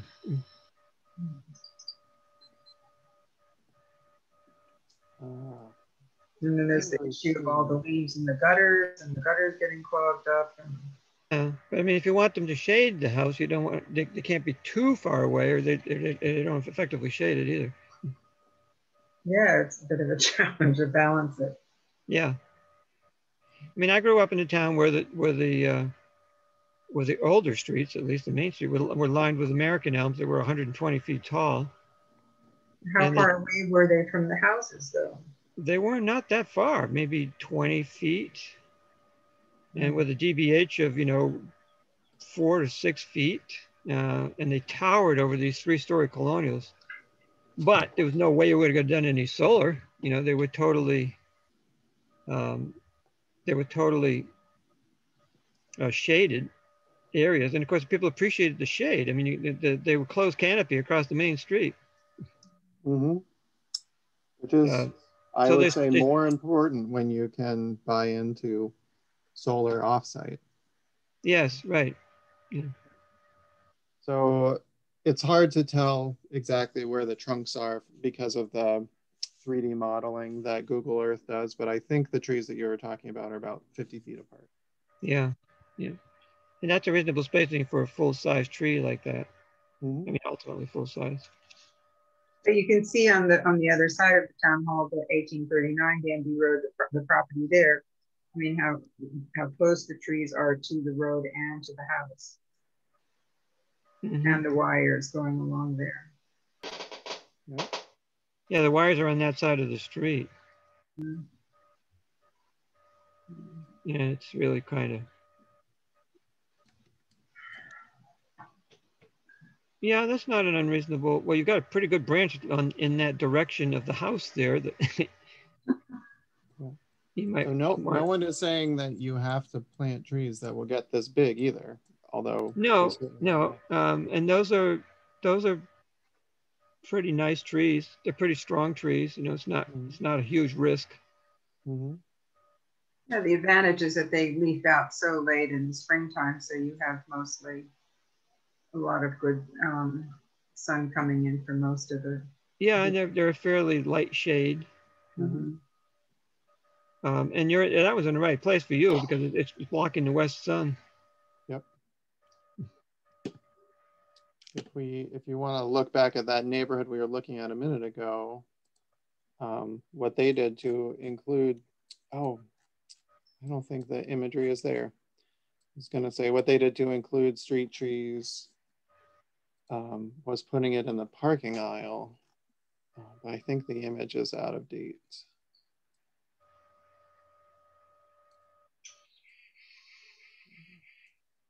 yeah there Which it one? The cottages or the the good college? the cottages. Oh, you can see here where they put where the tree wells are. Um, they put them in the parking aisle, breaking up the parking um, Uh-huh. because the the site was too tight um, to have a tree lawn, and it worked So out they really. did bump outs basically. Yeah, worked out really well. You've got a tree lawn on one side and uh, Uh, uh, yes, tree tree uh, islands or peninsulas. it helps the helps the street not feel too wide, even though it's a little wider than they wanted it to be. Yeah, it, it, yeah, right. It makes it feel smaller. You know, that um, experience that I have in an older development in Reston, those tree aisles there, the trees do not have the longevity that they should because their their roots are under they're under pavement unless you have a permeable um, paving surface. In the long run, they don't live. Mean, I- now- yeah, of course, you know, Cornell developed a st- structural soil for trees, which can help. It's good. And structural soil, people act like it's something um, amazing or complicated, but it's just having some rocks in the dirt.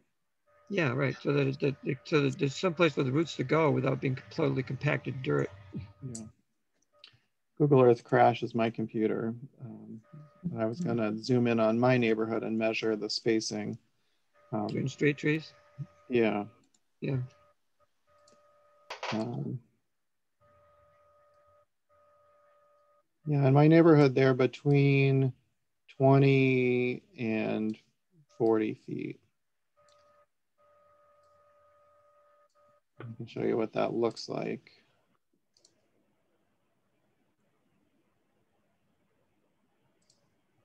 With any kind of planting like that, we're looking at trees that are going to be really big in the long run. There's always the what it looks like when you plant them. Mm-hmm. And you know, it, it can it, it, it it's typical to sort of overplant the landscape because for immediate impact, but then as it grows out, it ends up looking kind of crowded.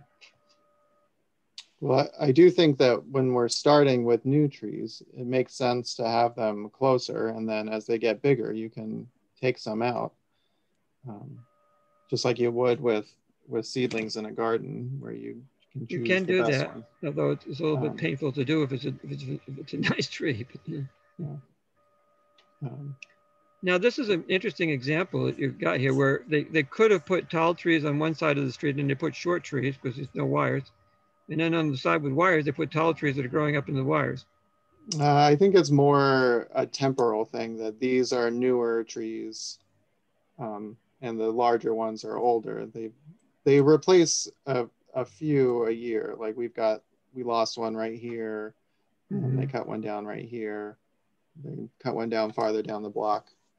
Um, and having enough that you can do that without destroying, without making it a barren street is really nice. Right. Uh, unlike what happened when the elms all went and the street was lined with elms. exactly. So you got ginkgos on your street. We do. We have a we have a broad mix. We have a lot of different colors and um, some flowering. some- It's it's good to have that mix. Mhm. Um, so this is a new development when they had new trees. These are much bigger now. Um, but you know, I want I want to think about what they are going to look like when they're new. We don't have a neighborhood that looks like crap for 20 years While waiting for the trees to grow, right? until the trees grow in. Yeah, Yeah. which is really common, and that's why there's requirements for um, for the diameter for them to be fairly substantial trees and not little toothpicks like this. Um, Yeah. Of course, a lot of that, some of that depends on species, you know, how fast they grow. Mm-hmm. Does. So, I mean, the elm on my on my west lawn is is now over 40 feet tall, and it's not much. It's, I don't think it's 15 years old yet, mhm. because it put because it puts on it put on four feet a year in the first few years. Yeah. so where are we at here? I'm hearing some concern about requiring trees. When I wrote this stuff, we had heard a lot of concern about if we're going to allow development, we need to have really good street trees and make sure that it's green and comfortable. And Yeah, well, I'm I've I've circled back around from my concern about solar to coming around to seeing it more your way, David, about the uh, you know, community solar being a good solution for for those who have um, that um, you know desire to plug into solar. yeah, Whereas the you know the shade and and what the trees offer in terms of the the you know sort of a sheltered and and, and environment um, is is a pretty important contribution to the character of the neighborhood. Mhm. and it's durable and you know it creates resiliency. It's not technology dependent. I think you just, you, again, you en- encourage it, but I mean, or require it, but leave it open so that if, if it's, if it's just not realistic or feasible based on the lot conditions, that, you know, that you're flexible about it. So we have the flexibility of the flexibility that's in there right now is this. Um, planting is exempt when existing above or below grade utilities prevent planting of street trees, or if the existing design of the street will not accommodate street tree planting. Yeah, that's probably pretty comprehensive. That deals with existing streets, and if you're planning, if you're doing new streets, then you can avoid those constraints by pl- by planning accordingly. Mhm. We haven't addressed, and are we going to, the uh, street specs? Nope. Is that no, we're not not going to, or no, no, we haven't addressed it? Or I think it's both. We're definitely not going to address it tonight. Yeah. And Yeah. did, did we reach a conclusion, yeah. a conclusion about the um, roof pitch? I don't think we did. I'm, I appreciate Kelly's recommendation of a six twelve. Um, I'm not sure I heard any for or against that proposition. I would, I'd, I would be willing to support that. Do others have comments on if they would be comfortable with going to six twelve instead of eight twelve? And it doesn't preclude lower slopes as long as they're in conjunction with bracketed cornices. Yep. You always have that option. I don't hear any any support or lack or opposition. Ted, do you have an opinion? Yes, but it doesn't help the matter. I don't see how making these decisions um, uh, relates to the rural character of the town. We're talking about the hamlet. I, it's still part of the town. Hamlet is part of the town. Yeah. So I it mean, it relates being- more to the Hamlet character of the town. Well, I found those what David called the Belle Sherman houses, which were Maple Avenue houses before Maple Avenue was obliterated. Um, I, I, found them ugly and uh, totally outrageously expensive. They had no garages. The, the, houses were jammed in together. And if you're going to live that close to your neighbors, you might as well be in an apartment building. Um, I Rhonda, I'm gonna I'm gonna cut you off, Rhonda, because people feel differently than you. We know you don't want to live next to people, and that's why you don't. But a lot of people do, which is why they paid a lot of money to live there. But the um, thing is that in the Hamlet, the thing it's going to prevent by doing this is having. I mean, it probably won't. It wouldn't be the same scale, but that a new apartment building that's on Cherry Street. That's literally a box with windows in it. Mm-hmm. Well, I'm not implying that we should have apartment buildings, though some people have. All I'm saying is that the houses that are there in the hamlet now have significant space between the houses and garages and space for garages and have plenty of trees and shrubs and things like that that help shade the houses and give a certain amount of privacy and quiet to their property. And I think that when you start opening up certain areas, then you take away from the people who are already there. Well, we're not talking about replacing the houses that are there. No, but I'm saying, you know, if you start jamming a little, you know, these houses into very small spaces, then uh, it's um, for the other people who are already there and whoops, and have um, ha have this space and privacy that they've cultivated that living in the hamlet isn't going to be so appealing for them.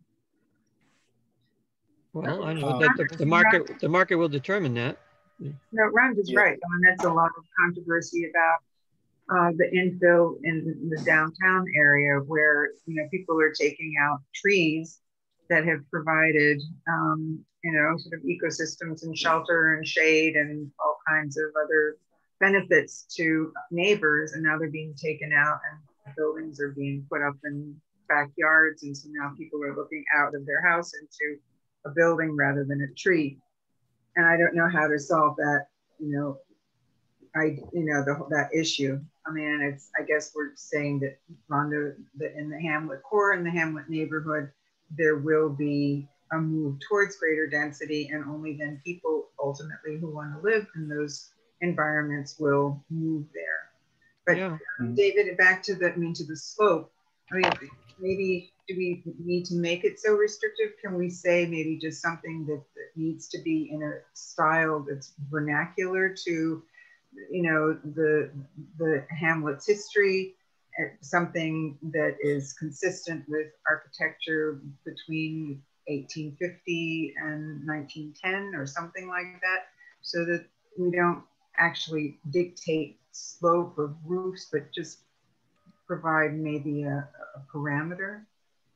Then it's then it's ambiguous. Yeah, and we have some we have some pretty plain Jane houses from that from that period, Olivia. If you look around town. well, if you do something vague like that, it goes to the planning board, and they can't they can't make any decisions. You have to give them specific metrics. So we certainly could do that. That's what the hand what the, the commercial, commercial design, design guidelines yeah. do.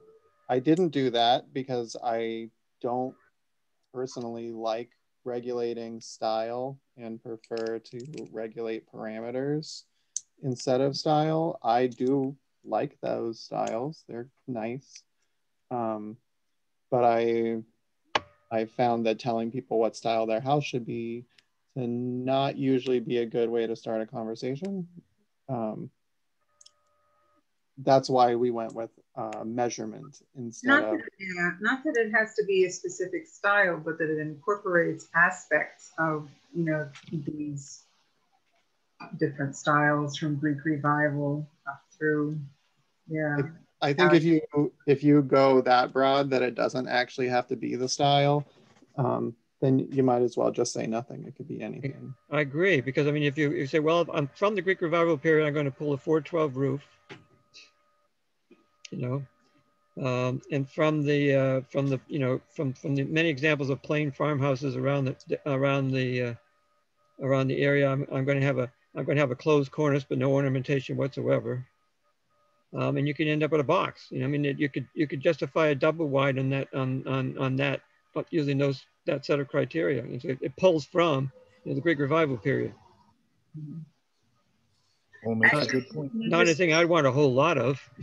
So, I mean, you know, the Rose, beautiful little American Gothic burned down. If they, you know, if these guidelines were in place, would they have been, I mean, they basically put in a double wide. Would they have been required to conform to these guidelines? Well, the roof would have been steeper, Or it would have had brackets. or it would have had brackets, right? I think it, you know, that house with a steeper roof would look better than what's there now.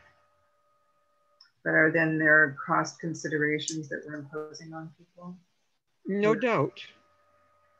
It's- The steep roof is more expensive. That's why double wide manufactured homes have 312 pitches and modulars have steeper ones.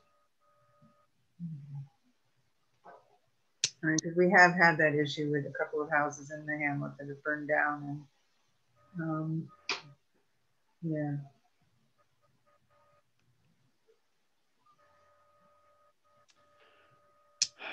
So I'm I'm not sure we're we're gonna get much farther than Kelly's made a suggestion. I've heard two two people say they're okay with it. I think I haven't heard anybody say they're not okay with it. Abstention. I'm okay with it. I'm One okay with firm it. abstention. A firm abstention. Firm abstention, right? Or we could we could fly it up. We we could put the 612 in and see what if we get a you know if we get a huge uh, public outcry that this is ridiculous, then we can always back away from it. Uh, someone- alternate- alternatively, if we get people saying you know um, you know if you have a spec like that, then all we're going to get is humdrum boxes. Um, If someone wanted something else, they could always go to the BZA, right? They could. is it BZA VCA you would go to? Probably because you're looking at a variance from the specs. Yeah. Actually, uh, two cents about what Rhonda said earlier. I mean, I, I don't happen to, you know, I, I think the, the houses in the pictures you were showing are boring. I don't know, I'd, I'd say ugly. But when you talk about the spacing of between them and the overall look, I think we've, the discussion in earlier meetings pretty much seemed to go in the direction that that's what we want Right. we decided on that spacing. Now we're talking just about how they look, or they might, you know, architectural details. Uh, we, we've that ship has already sailed.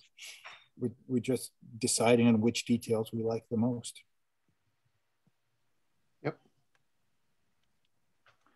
Yeah. Uh, well- What was the other option before 612? Eight twelve. Eight. Steeper. Yeah, I'm looking at, I'm looking at some pitches here. I could go with the six twelve. I, I think I'm, I think the pitch needs to be steeper too. I don't, I think 612 is not very, pretty close to flat looking. It's probably, it's probably as low as you want to go if you want something that has that looks like it's steep. Mhm. But I mean, look at the garage with the 512 in the upper right. Doesn't look that bad. It actually looks steeper than the 612 picture. Yes, because the 612 got the you know gable under gable. Yeah. They both look pretty flat to me, but that's why I said eight. Yeah, But it seems like we have some reasonable consensus around putting in six for this draft. And we can uh, address it again later if we really yeah. want to. Um, I don't think the pitch on eighteen forty-nine is probably, well, maybe it's more like seven. What do you think, David? Seven or eight on that eight? Um, uh, uh, 49. not looking at it. flat. Is it a Greek revival? Mhm. Yeah, they tend to be relatively flat, but it, they have nice They do. details. You know, They that's, tend- Yeah, they're nicely detailed. Well, the typical temple front, a temple front would look at, would be, you know, in the- somewhere in the range of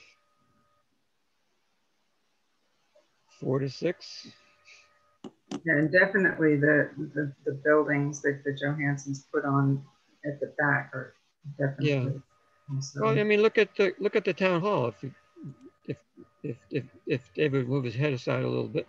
Um, That's a, that's a, that's an entablature in the front there with basically a temple front with a, with a, with a, you know, hat on it. Um, That roof was what, maybe a seven?